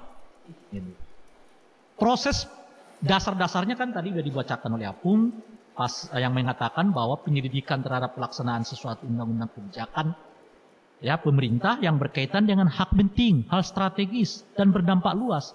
Ini yang tiga ini nggak dijabarkan secara umum oleh para pengusung hak angket. Apa hal pentingnya di situ? Apa hal strategisnya dari angket ini? Dan yang lebih penting apa dampak luasnya kepada masyarakat terhadap ya uh, tindakan yang dilakukan oleh KPK atau tindakan yang dilakukan oleh KPK yang berdampak terluas terhadap masyarakat. Di mananya? Padahal ngeceknya sederhana. Menurut saya, kan ada dua mekanisme. Mekanisme pertama adalah memang kita hitung secara matematik dan kualitatif dampaknya itu seperti Bang Senturi, kan kita bisa hitung. Uang sekian triliun hilang. Mekanismenya dilakukan dan terbukti ada indikasi pelanggaran hukum dan plus juga korupsinya Nah itu jelas. Dan korupsi kita jadikan sebagai dasar sekarang uh, sebagai apa namanya extraordinary crime. Itu ukurannya. Nah kalau konteks ini di mana gitu? Itu salah satu. Ukuran yang kedua ya Anda buat survei. DPR buat survei. Bah, apakah mungkin kalau KPK itu diangkat disetujui oleh publik atau tidak? Mereka merasa dirugikan nggak oleh apa namanya ya? Oleh sikap KPK misalnya yang tidak menyebut nama-nama, tidak menyerahkan rekaman. Ya, atau sepenting apa masyarakat merasa perlu mendengar nama-nama ya anggota yang dianggap mengancam saudara Miriam itu. Kan dengan dengan pencapaian teknologi seperti sekarang mengetahui aspirasi publik itu sudah sangat mudah gitu. Dalam jangka sehari dua hari juga udah kelihatan. nah ini nggak ada ukuran seperti ini di dalam apa di dalam pola pengambilan atau dalam dasar-dasar pengambilan uh, hak angket yang dimaksudkan ini gitu ya. Nah, uh, ya itu satu. Jadi dasarnya bermasalah, proses pengambilan keputusannya bermasalah, dan yang ketiga faktualnya juga bermasalah. Karena mayoritas fraksi menolak, mayoritas anggota DPR asumsinya juga menolak. Dari mana mayoritas DPR? Ya tentu saja karena kita itu dari fraksi. Lah, kok kan ya kan bagaimana bisa diasumsikan otomatis anggota DPR dan yang fraksinya menolak juga menolak? Ya kita harus pakai asumsi itu karena juga saudara Fahri pakai asumsi juga menetapkan putusan itu. Dia juga berasumsi bahwa PAN akan ikut mendukung, kan kira-kira gitu. Ini ikut mendukung, dia ketuk palu. Maka kita pakai asumsi-asumsi, kan kira-kira gitu. Ini itu fakta. Tiga kali ya bermasalah. Gitu. Nah, faktor yang keempat tujuannya yang kita nggak mengerti. Tadi sudah disebutkan juga, angket itu kan tujuannya politik. Nah paling ujung itu kan dari tujuan angket itu adalah ya mendelegitimasi pemerintah. Dengan melanjutkan ke tahapan berikut yang dinamakan dengan hak menyatakan pendapat. Nah ini angket dibuat, proses penyelidikannya dibuat, taruhlah ditemukan hal ihwal yang dianggap sebagai dasar dilakukannya angket ini. Terus mau diapain? Nanti Pak Dedi dah yang tanya, eh, Pak Edi lah yang jawab. Mau diapain? Gitu. Apakah mau minta pertanggungjawaban pada presiden? Dalam karena kalau angket itu jelas lanjutannya kan adalah hak menyatakan pendapat. Gitu. Kalau kita lihat skenario apa namanya ya ketatanegaraan kita, pengawasan naik sedikit, ya angket naik hak menyatakan pendapat, hak menyatakan pendapat naik ke Hah? Iya, pemakzulan presiden. Ini apa tujuannya gitu? Kalau dilihat dari skenario ini gitu. Taruhlah misalnya hal-hal yang dicurigai yang dianggap oleh DPR itu sebagai dasar dilakukannya angket ini ditemukan di dalam penjelasan-penjelasan di dalam rapat-rapat pansus. Masalahnya kesimpulannya apa? Jangan kita mengulangi kesimpulan angket Bank Senturi yang sangat luar biasa tadi seperti disebutkan oleh saudara Sebastian Salang. Ujung-ujungnya serahkan kembali ke penegak hukum. Lah, kalau kembali ke penegak hukum ngapain kita ribut sedemikian hebat? Lalu penegak hukumnya lagi jalan kok untuk menyelusuri kasus Bank Senturi. Kan jadi ini aja kan. Padahal kalau angket itu kan mestinya strukturalis ya berjalan dari bawah naik setingkat dia ke angket, angket menyatakan pendapat, menyatakan pendapat pemakzulan. Nggak ada itu angket lurus gitu loh, ke horizontal. Angket tuh ya struktural ke atas gitu. Dari pengawasan naik angket, angket naik menyatakan pendapat, menyatakan pendapat, pemakzulan. Lah ini ang pengawasan angket, angketnya ke sini gitu. Itu kasus Bang Senturi. menyerahkan kembali kepada aparat penegak hukum supaya dilaksanakan penegakan hukum terhadap Bang Zentur. Lah kalau itu hasilnya yang ngapain kita ribut berbulan-bulan ya?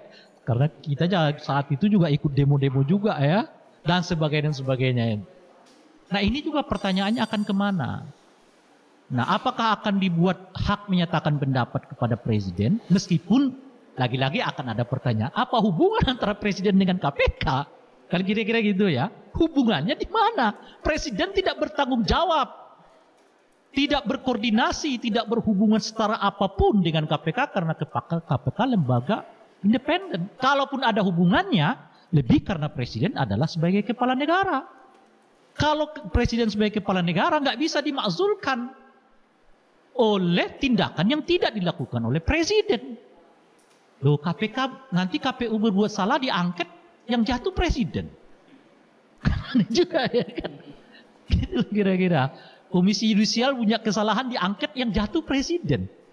Padahal kita semua tarik selalu apa namanya presiden harus netral, ya baik kepada KPU, loh itu kan aneh juga. Kalau ini kita buat lurus gitu.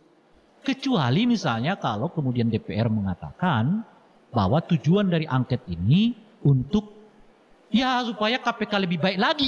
Nah, itu kan Ngapain pakai angket gitu loh kira-kira. Persis seperti yang disebutkan oleh Bung Sebastian Salang tadi. Ngapain pakai angket hanya untuk mengatakan supaya KPK lebih baik lagi. Lebih hati-hati lagi. Terus ngapain pakai angket? Saya nggak, saya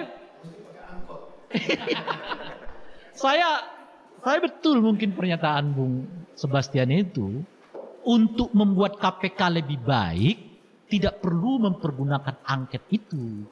Sebab angket itu harus dilihat adalah langkah politik untuk menentukan nasib pemerintah.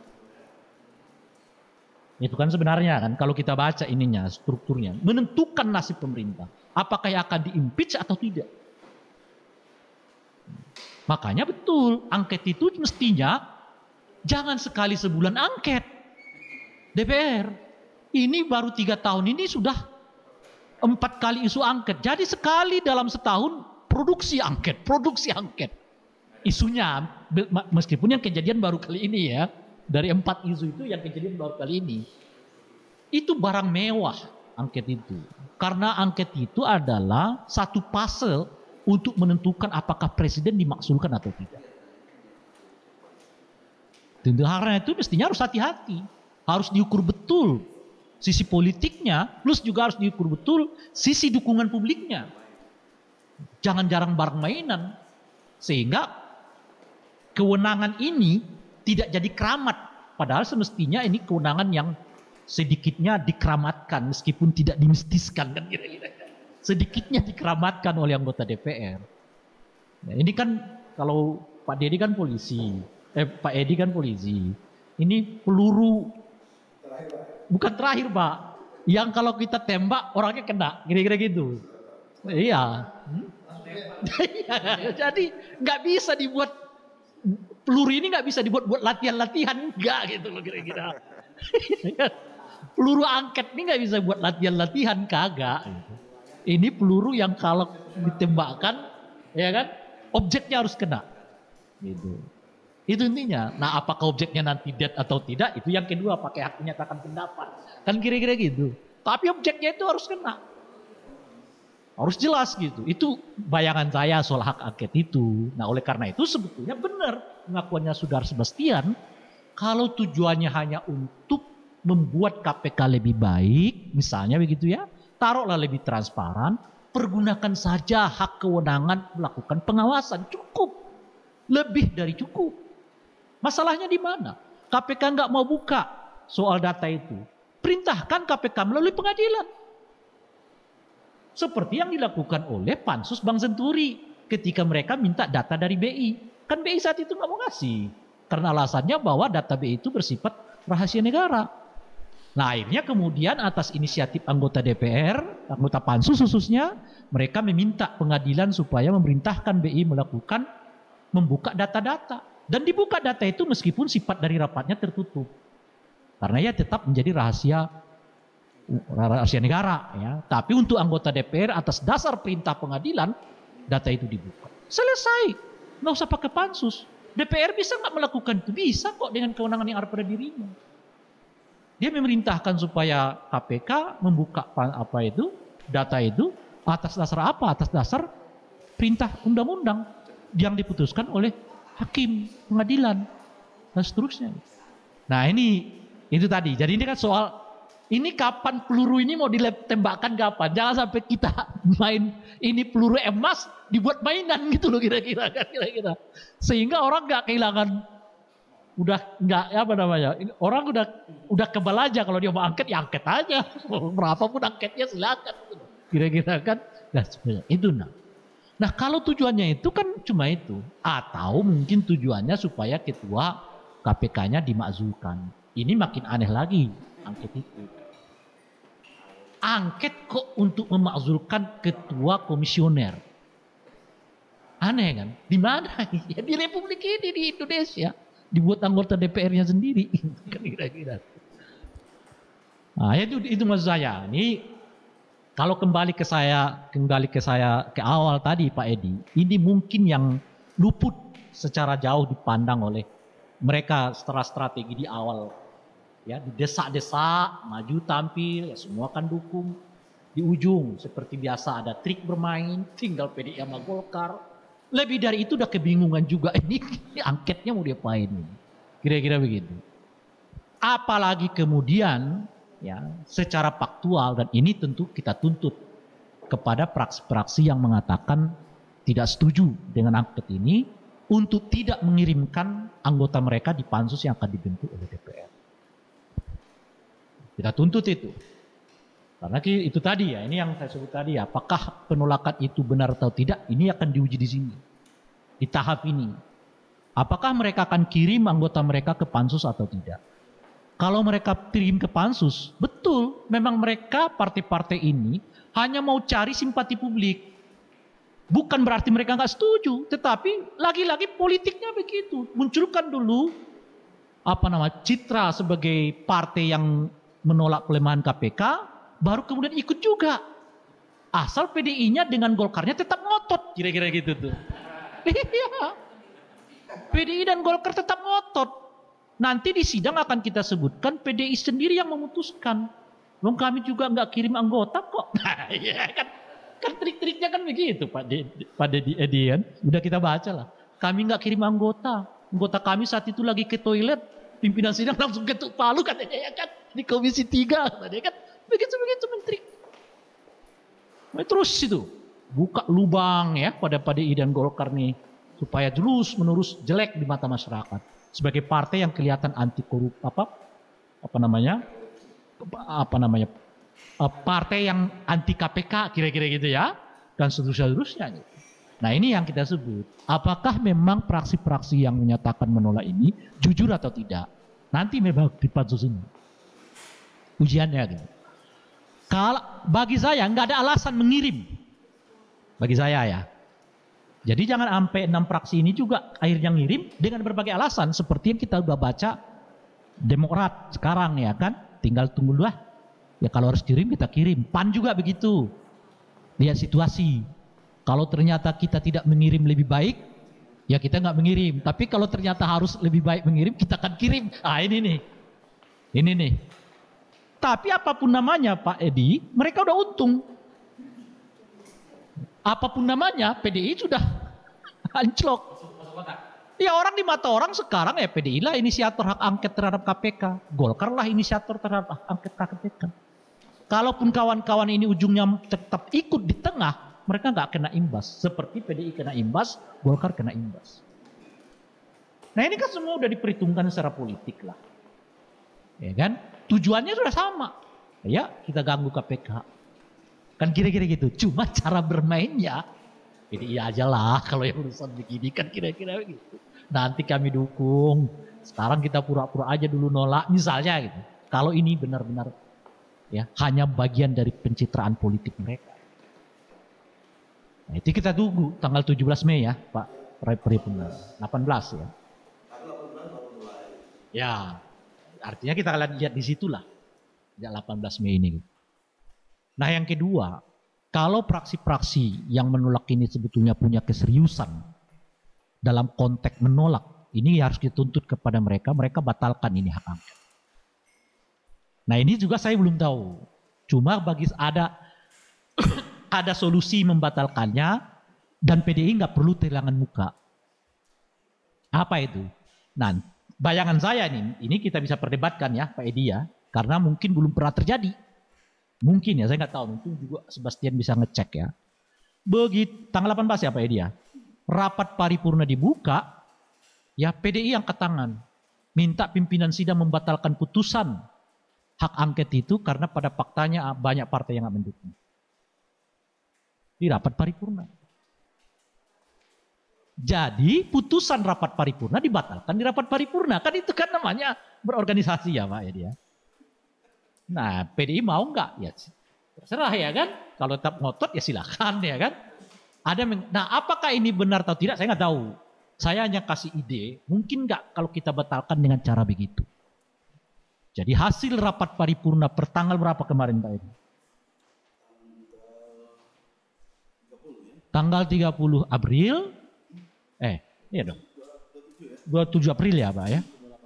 Ya, ya gitulah. Tanggal 27 April dinyatakan ya dibatalkan oleh rapat paripurna pertanggal 18 Mei 2017.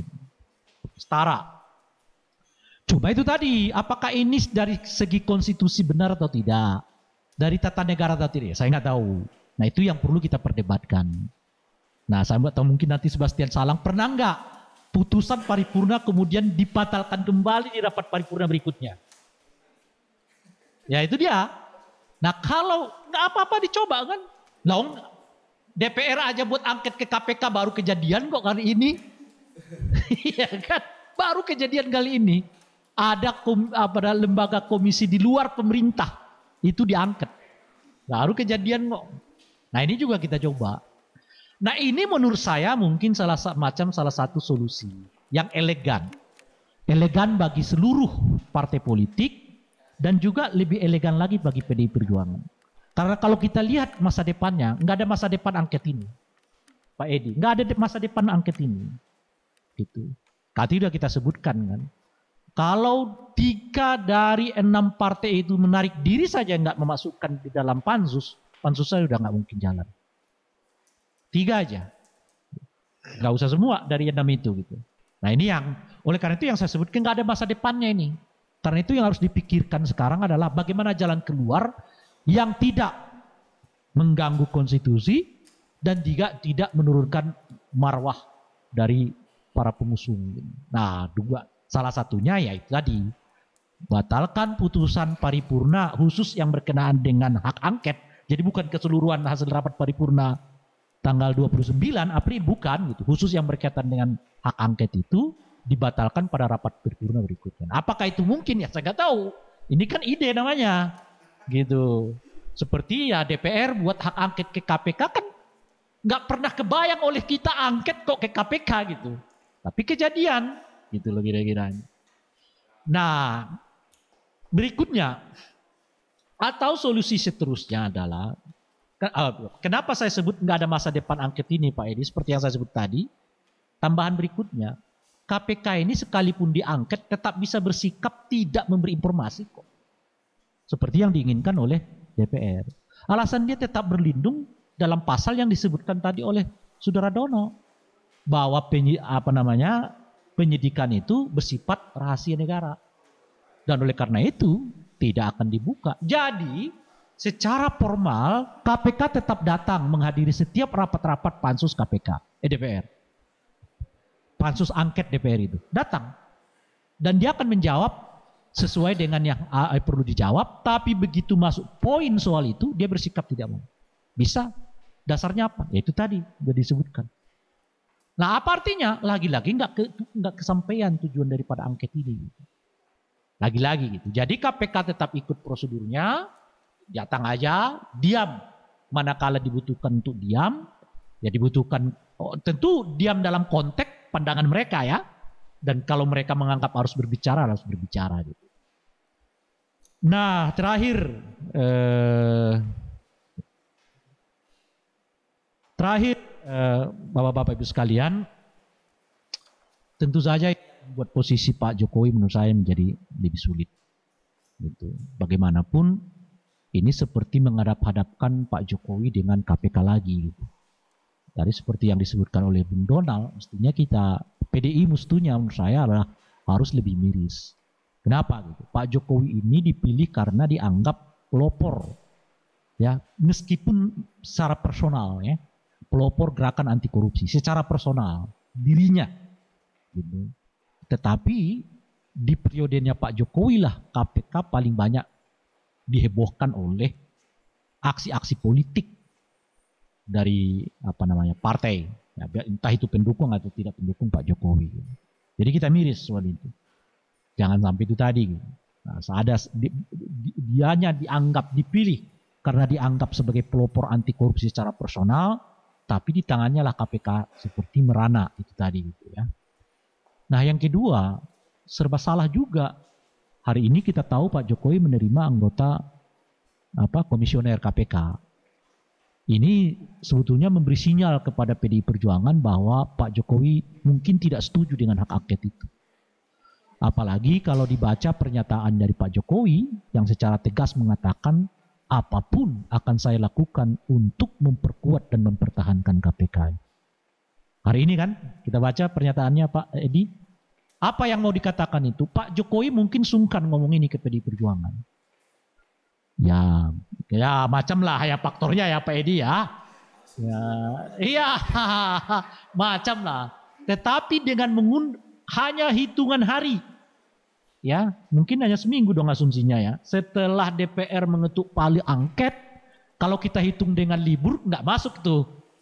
Jadi hitungan 2-3 hari sebenarnya kan kira-kira gitu. Kalau kita hitung libur gitu ya.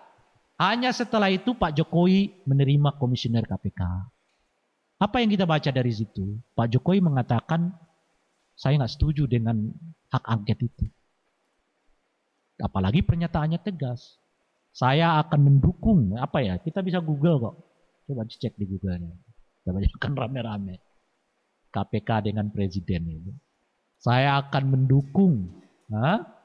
Pak Edi jangan ke mana-mana dulu.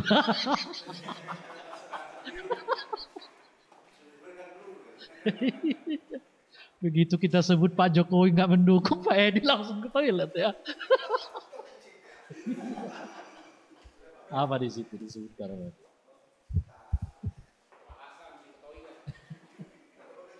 Hah? Ya, ya kira-kira begitulah ya. Nanti hari yang bacakan kan. Nah itu apa beliau sebut nih. Saya sangat mendukung langkah-langkah yang telah dilakukan oleh KPK dalam hal apa pun, terutama dalam rangka membuat pemerintahan yang bersih, berintegritas, yang terbebas dari korupsi. Ini pernyataan keras. Ya, sikap yang jelas. Artinya KPK presiden ya berada di posisi KPK bukan berada di posisi para pengusung hak angket. Nah, itu kira-kira dari saya. Mudah-mudahan Pak Edi yang sekarang lagi di toilet ini berpikir ulang lagi ya, menyampaikan kembali ya ke fraksi. Eh, saya ingin menanyakan kepada Pak Edi ya, khususnya, tapi melanjutkan apa yang dijelaskan oleh Bung Rey. Sebetulnya apa sih kepentingan PDIP untuk menggulirkan atau menginisiasi hak angket ini gitu? Kalau Golkar kita bisa ngerti lah ya punya alasan-alasan eh, subjektif. Tapi PDIP itu apa? Apalagi kalau dari penjelasan Bung Rey tadi, ini kan bisa tends to head to head antara Pak Jokowi dengan KPK. Sementara masyarakat dan itu juga faktanya Pak Jokowi itu kan kadernya PDIP sendiri. Itu. Nah, ini sebetulnya apa gitu? Dan apalagi di dalam proses tersebut kalau PDIP eh, kurang tanggap menyikapi situasinya, justru PDIP yang akan mendapatkan implikasi buruk. Jelas tadi Bung Rem sudah menjelaskan juga ya. Implikasi buruknya itu yang diterima justru akan diterima oleh PDIP dan Golkar gitu. Nah, mohon penjelasannya Nah, Pak. ketika melihat fenomena kemarin terjadi banyak polarisasi itu ada anomali seperti yang mau ngacak-acak pikiran ya. Jadi seperti ada seperti langkah-langkah brainwash atau apa. Eh, dalam hal ini, eh, dalam hal bagaimana DPR menjelaskan, eh, kemudian di bawahnya angket itu juga ada ciri-ciri seperti itu. Jadi ada anomali dalam satu hal, dia itu tidak sesuai dengan perundangan, dengan hukum, tapi kemudian itu juga dilakukan. Di situ terjadi kayak polarisasi. Ini benar, tapi ini dilakukan. Jadi seperti diacak-acak kepala ini secara tidak sadar. Ini sama halnya dengan ketika eh, ada kasus lain misalnya, oh kelompok ini eh, anti demokrasi, tapi dia mengatakan loh enggak demokrasi kok begini padahal dia anti. Jadi ada semacam anomali-anomali yang ditanamkan dalam situasi sehingga itu kemudian secara tidak sadar itu masuk ke subliminal orang dan ketika membaca dia akan bingung pada kondisi. Oh, ini yang benar mana? Ada dua kebenaran. Maka kemudian ini akan kembali membenarkan bahwa dalam era ini betul-betul era uh, post-truth di mana kemudian ada banyak versi-versi kebenaran yang kemudian uh, orang bisa memilih untuk percaya pada bahwa angket dalam hal ini ada benar atau bahwa angket dalam hal itu uh, tidak benar secara prosedural. Jadi ada pilihan-pilihan kebenaran padahal kebenaran itu sendiri seharusnya tetap harus dipertanyakan dan sebagai bagian dari uh, untuk publik ya kepentingan publik uh, penting sekali untuk dijelaskan bahwa kemudian uh, prosedur ini benar bahwa begini begini begini atau kemudian uh, untuk yang kontra prosedur ini tidak benar karena menyalahi ini ini. Jadi masyarakat itu perlu tahu yang sekelilingnya. Ini secara prosedur benar atau tidak sebelum kemudian masuk ke substansi. Nah, karena apa? Ketika membaca ini adanya cuma di atas saja visual, sensasional, emosi, akhirnya pilihan benar salah itu sangat-sangat relatif. Uh, objektivitas sudah nggak ada, cuma aku prefer ini atau aku prefer ini. Eh, tadi ya, itu. Justru pihak-pihak itu termasuk PDIP tidak sadar dari eh, arahnya ke mana permainan ini. Yang keempat dari Surti Bojone Bambang. Wah ini kayak pernah nanya nih Surti Bojone Bambang. Nah, hehehe, angket-angketan. Jadi ingat yang jadi ingat gayanya Mas Bambang kalau lagi baperan tapi mau minta jatah lebih gitu deh. Wah ini Mas Bambang yang sebelah sana ini. Yang regional. Oke, eh, mungkin dari Pak Edi dulu karena tadi banyak pertanyaan ditujukan ke Pak Edi. Mulai terus juga mengkonfirmasi apa tadi yang disampaikan Mas Donald dan beberapa bicara lain. Silakan Pak Edi. Terima kasih.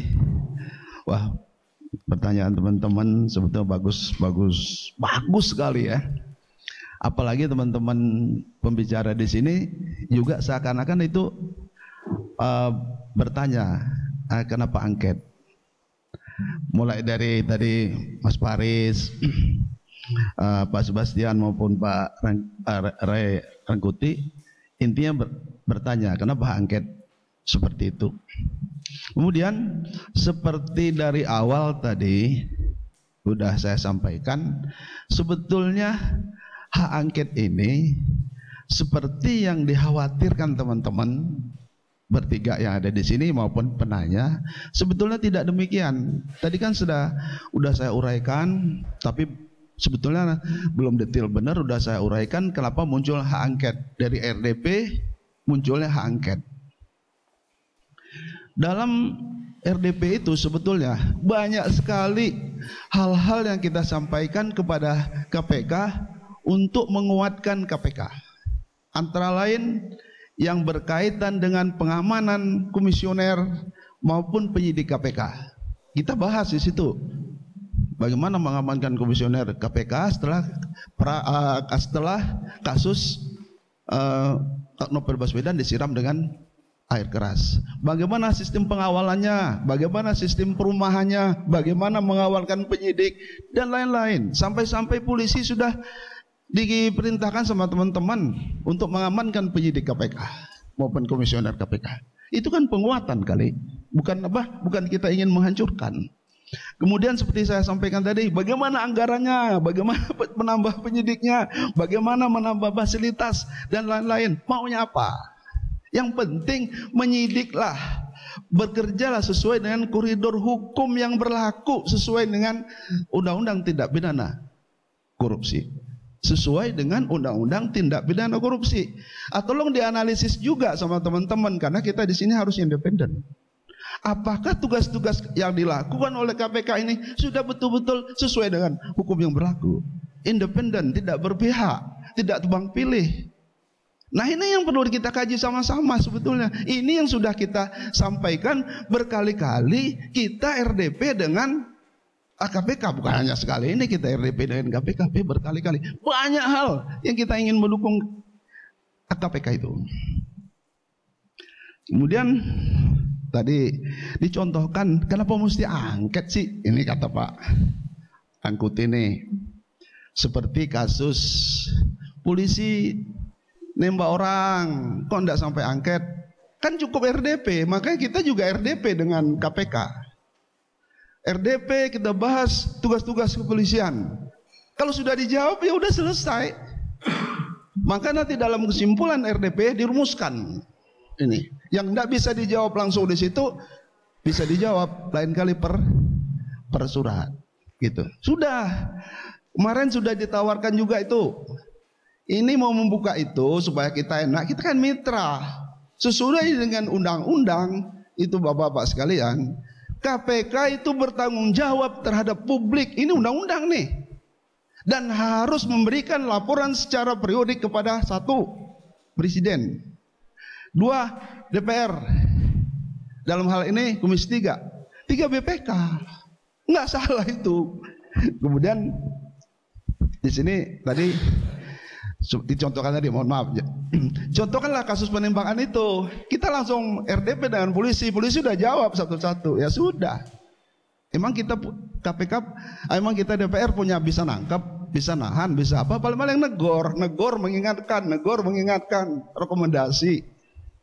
Seperti contoh juga teman-teman sudah sampaikan seperti kasus Pelindo kita kan paling paling rekomendasi. Itu sudah sudah angket itu Kadang-kadang rekomendasi, kadang-kadang tidak didengarin juga. Ya begitu, tinggal bagaimana masyarakat melihatnya. Karena hak angket itu, itulah lah wewenangnya, uh, haknya DPR. Alatnya itu itu. Panja sampailah ke terakhir hak angket. Kalau misalnya kemarin dijawab, tidak ada masalah apa-apa, hanya itu doang. Karena kemarin itu tidak dijawab, akhirnya yang lain-lain itu muncul semua. Ini gimana sih KPK? Begini kok sama mitranya sedangkan undang-undang mengatakan KPK bertanggung jawab sama publik dan harus memberikan laporan secara periodik kepada presiden DPR dalam hal ini Komisi 3 dan BPK. Itu itu udah jelas itu enggak usah kita perdebatkan lagi itu undang-undang sebetulnya yang menjadi tanggung jawabnya apa? Menjadi tanggung jawabnya uh, eh, KPK. Enak sekali kok kita sama KPK itu. Sekali lagi saya katakan, tidak ada niat kita akan memakzulkan komisioner. Tidak ada. Komisioner itu yang milih siapa? Kan antara lain KPK dalam fit and proper test. Itu. Nah ini ini harusnya sebetulnya harus kita pahami uh, bersama. Kemudian tadi ini dari Pak sorry. Pak Donald Paris tadi.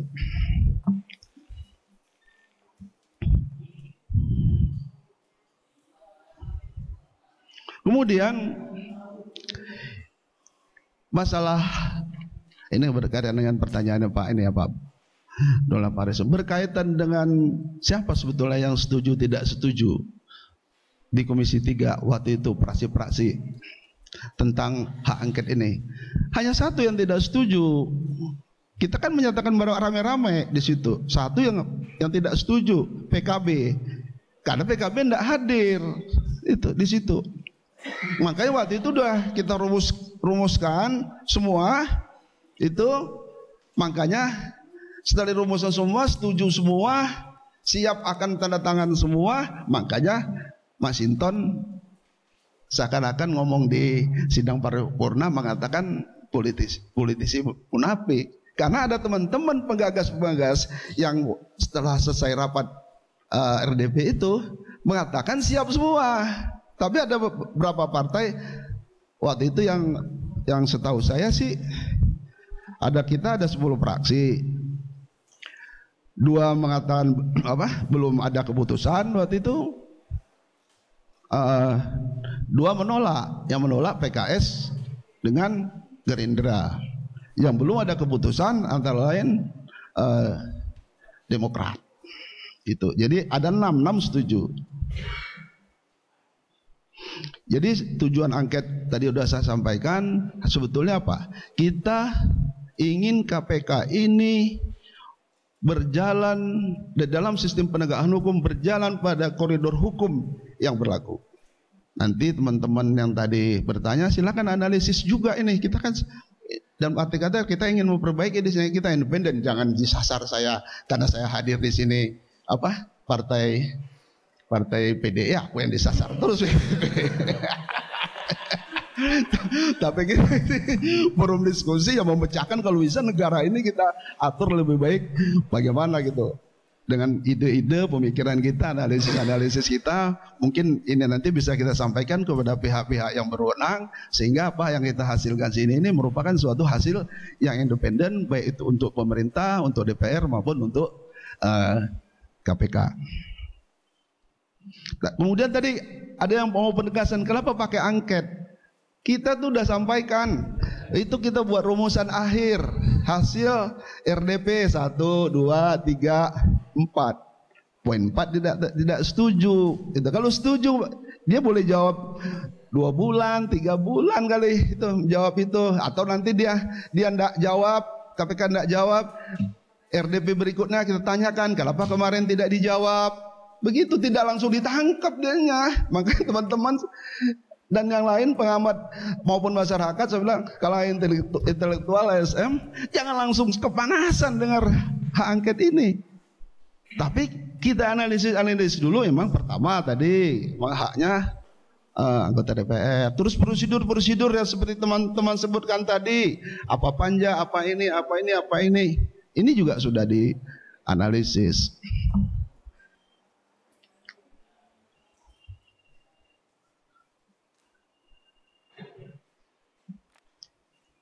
Nah kemudian sekarang misalnya tadi kan Pak Rai berasumsi kalau misalnya uh, pertanyaan dari DPR ini sudah terjawab bagaimana? Sudah dikasih tahu deh misalnya tiba-tiba dikirim besok ini rekamannya begini karena ini proses terus ini di sidang pengadilan mesti terbuka terbuka terbuka akhirnya terbuka ada atau tidak?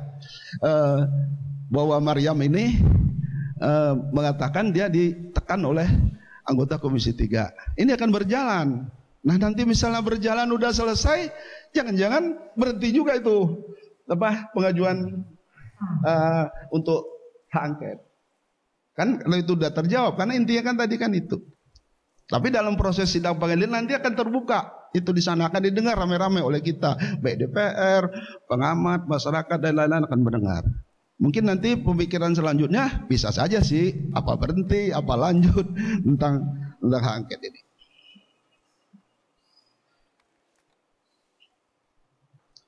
Itu intinya ya dari Pak tadi Pak Baris ya, yang belum dari Pak Baris.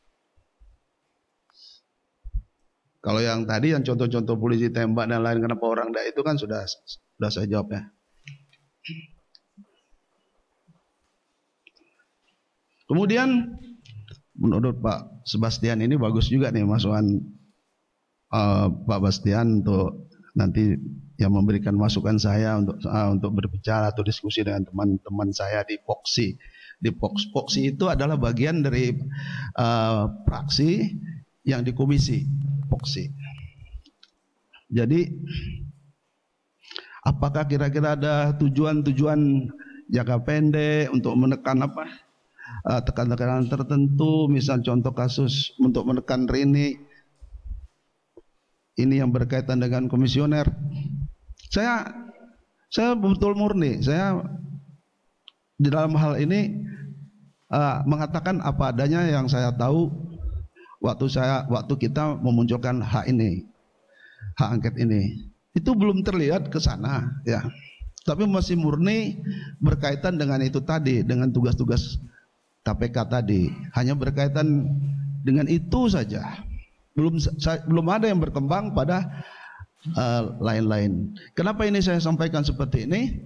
Karena memang RDP itu kemarin banyak yang dengar uh, terbuka. Saya bukan bukan asumsi nih saya menceritakan itu fakta-fakta yang ada di di apa di RDP. Fakta-fakta yang ada uh, dalam rapat-rapat kita itu kita belum berbicara ke arah yang lebih jauh.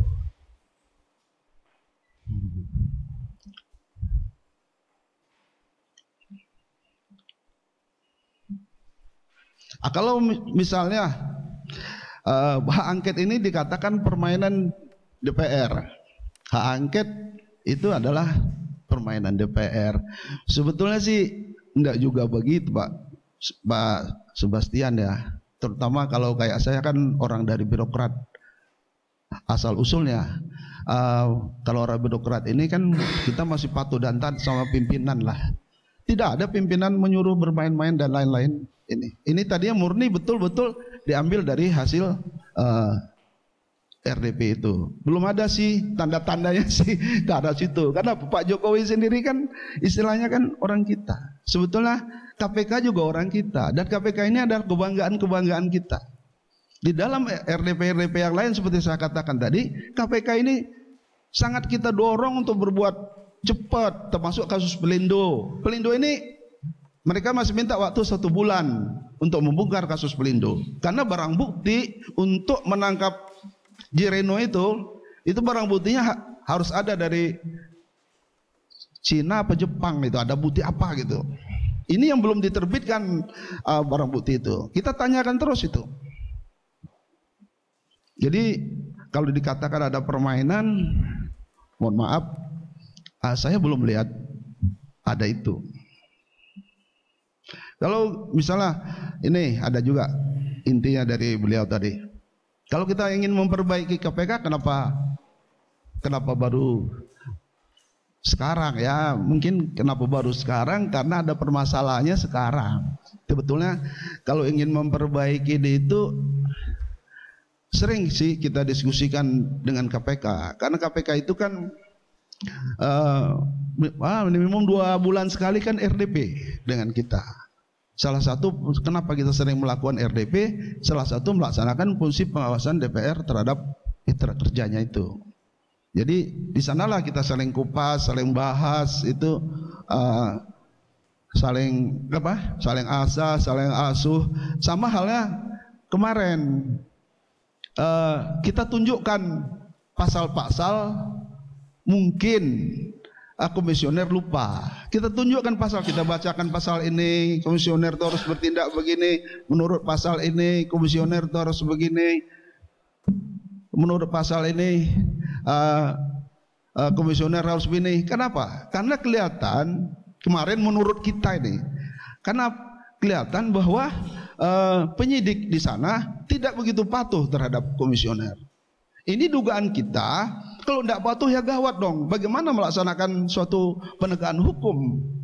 Kalau penyidiknya tidak patuh pada pimpinannya, makanya kita bacain ini satu-satu. Harus tegar, harus kuat, manajemen melaksanakan. Wah macam-macam begitu. Karena mulai dari isu bahwa ada konflik uh, antar penyidik dan penyidik tidak patuh kepada apa pimpinannya atau komisionernya.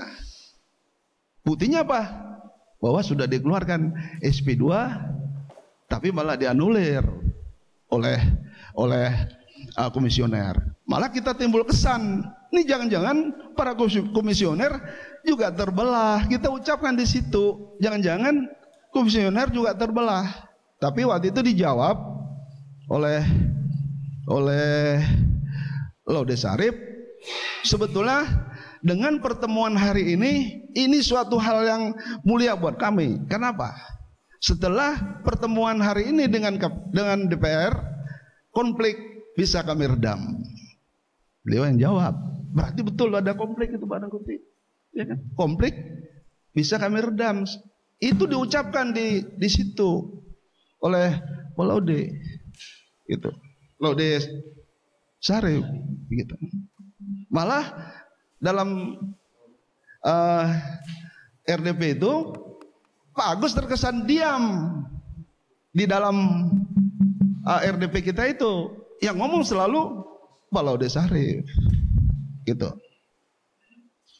Ah, tapi kita ingin mendorong bahwa yang yang yang istilah mentampuk pimpinan di situ itu walaupun itu ada ada kepemimpinan apa itu kolegi, kolektif kolegial tapi tampuk pimpinannya puncak pimpinannya adalah Pak Agus gitu ini juga kita sampaikan di situ sesuai dengan ini ini ini kita bacain dibacain sama teman-teman pasal demi pasal yang berkaitan dengan kemudian itu. ah jangan-jangan hak angket ini kata Pak Sebastian ini ada kaitan dengan kasus-kasus besar yang sedang ditangani oleh KPK. Kita dorong ini, makanya KPK jangan takut dengan isu isu angket ini KPK harus lebih tegar untuk membuktikan orang-orang yang terlibat dalam kasus-kasus besar ini. Kan ada kasus EKTP banyak menyangkut orang. Saya tidak sebutin satu-satu, itu kasus besar. Kasus Senturi, kasus BLBI, jalanlah dia sesuai dengan ketentuan hukum yang berlaku. Gitu. Jangan ragu-ragu. Jangan ditekan sama orang lain. Jangan terpengaruh oleh politik, jangan tebang pilih. Sesuai dengan hukum yang berlaku. Nah, gimana itu jawabannya, Pak? Ya kan? Jangan terpengaruh dengan angket kita. Malah kalau bisa tunjukkan, tangkap lagi yang lain. Begitu loh. Lebih cepat. Gitu. Jadi itu membuktikan, maksud saya ini kita sampaikan, kita tidak ada sama sekali berkaitan dengan kasus-kasus itu. Malah waktu itu kita juga udah dorong. Kalau betul itu terbukti dia bersalah, ada alat bukti dan saksi-saksinya. Wow, silakan. Itu. Ini di dalam forum waktu itu. Mungkin itu sudah sudah lebih tegas ya. Ini terhadap dugaan masyarakat, dugaan teman-teman, dugaan pengamat bahwa DPR ini ingin melemahkan KPK. Ini saya wakili bahwa itu uh, nggak benar arahnya ke situ. Ini dugaan saya, ya? Apa kesimpulan saya? Saya melihat patah-patah yang ada di situ.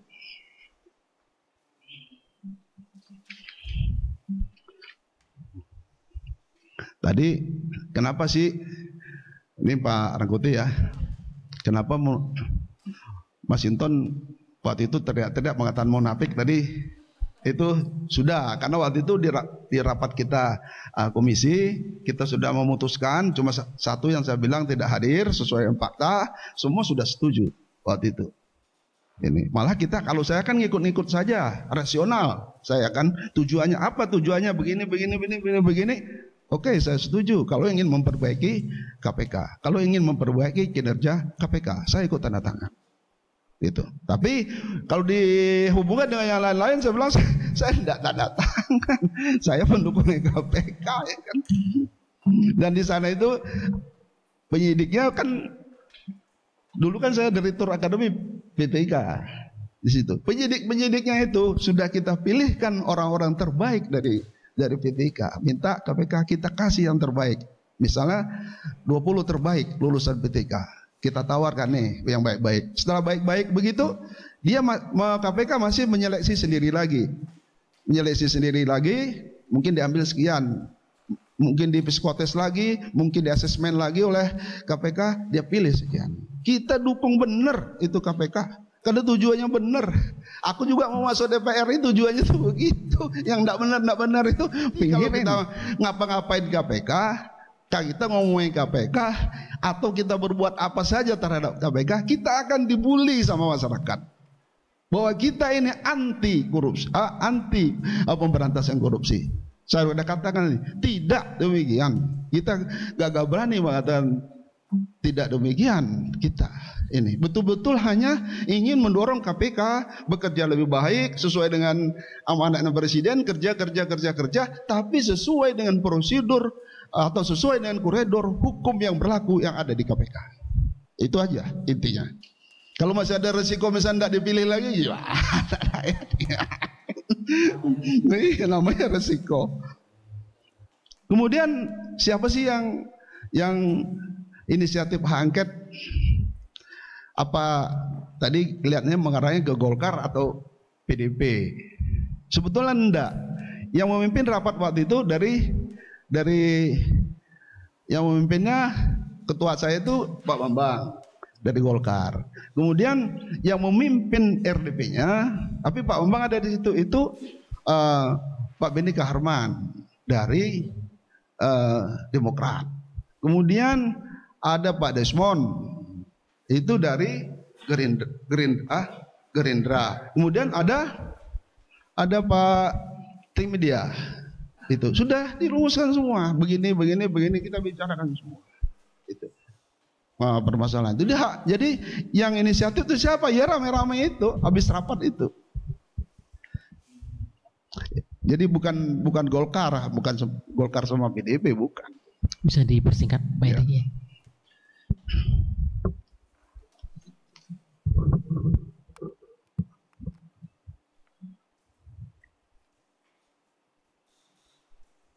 Oh, mungkin intinya di situ uh, yang berkaitan tadi pendapat teman-teman atau satu lagi ya pendapatnya Pak Benato ya udah masuk juga ya apa kepentingan PDP sama tadi Pak ya mungkin sudah ter ini sudah tercakup gitu. Sebetulnya kepentingannya tadi hampir sama dengan yang saya sampaikan tadi bahwa sebetulnya hanya untuk uh, eh, KPK ini agar bekerja pada koridor hukum yang berlaku sesuai dengan undang-undang tindak pidana korupsi sesuai dengan undang-undang KPK uh, eh, yang berlaku. Kita mendorong.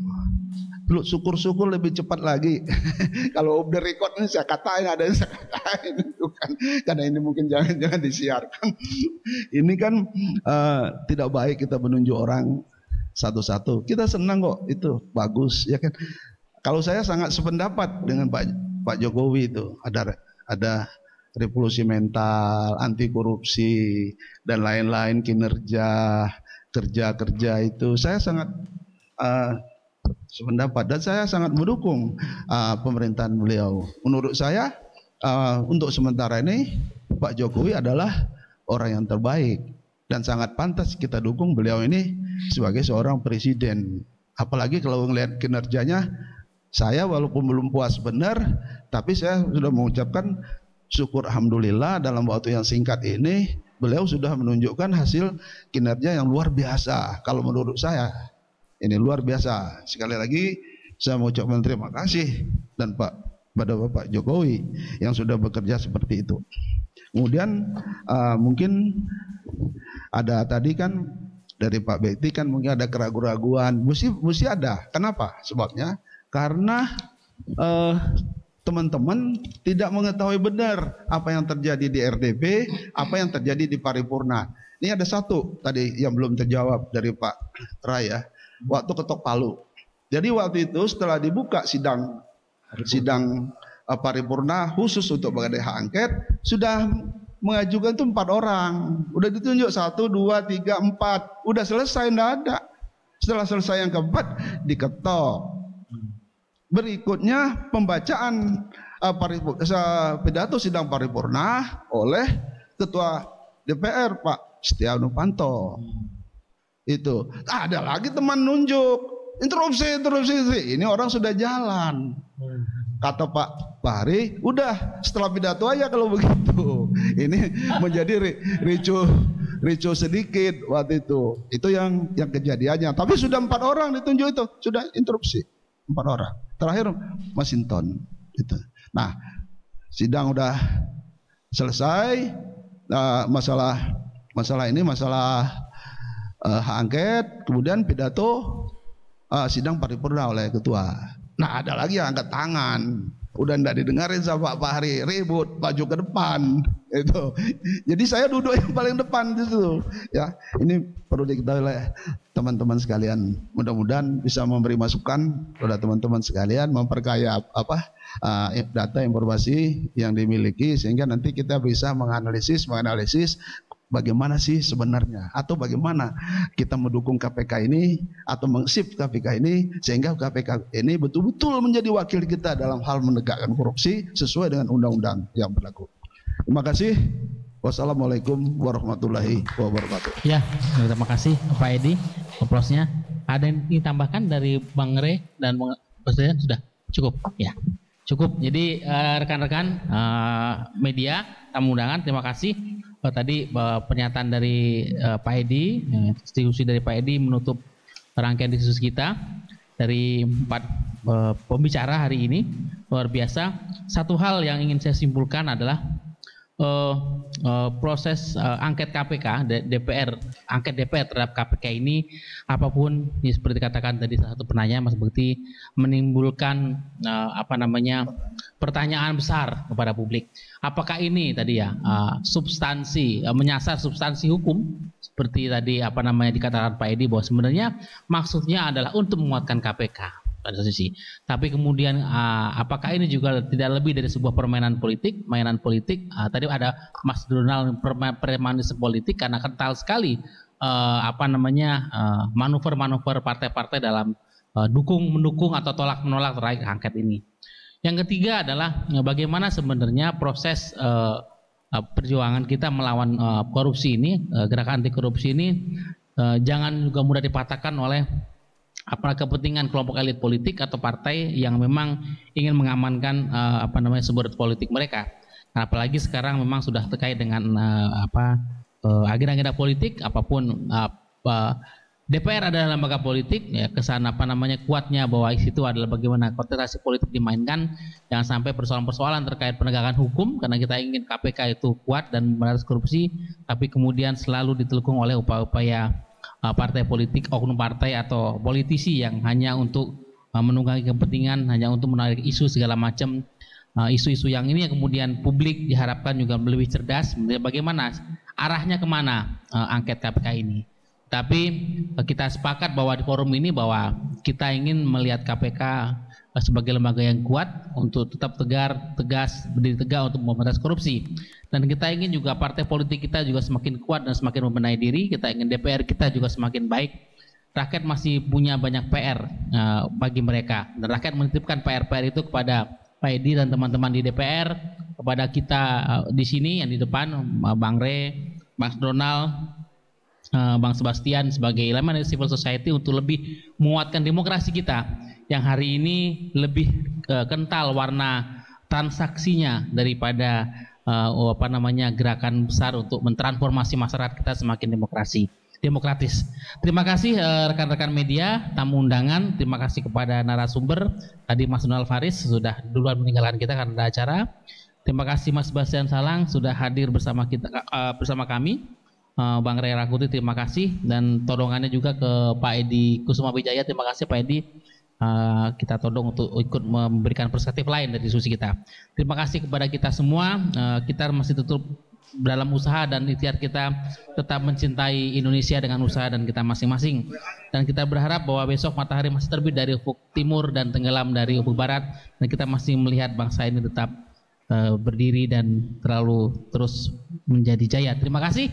Selamat sore. Wassalamualaikum warahmatullahi wabarakatuh. Thank you.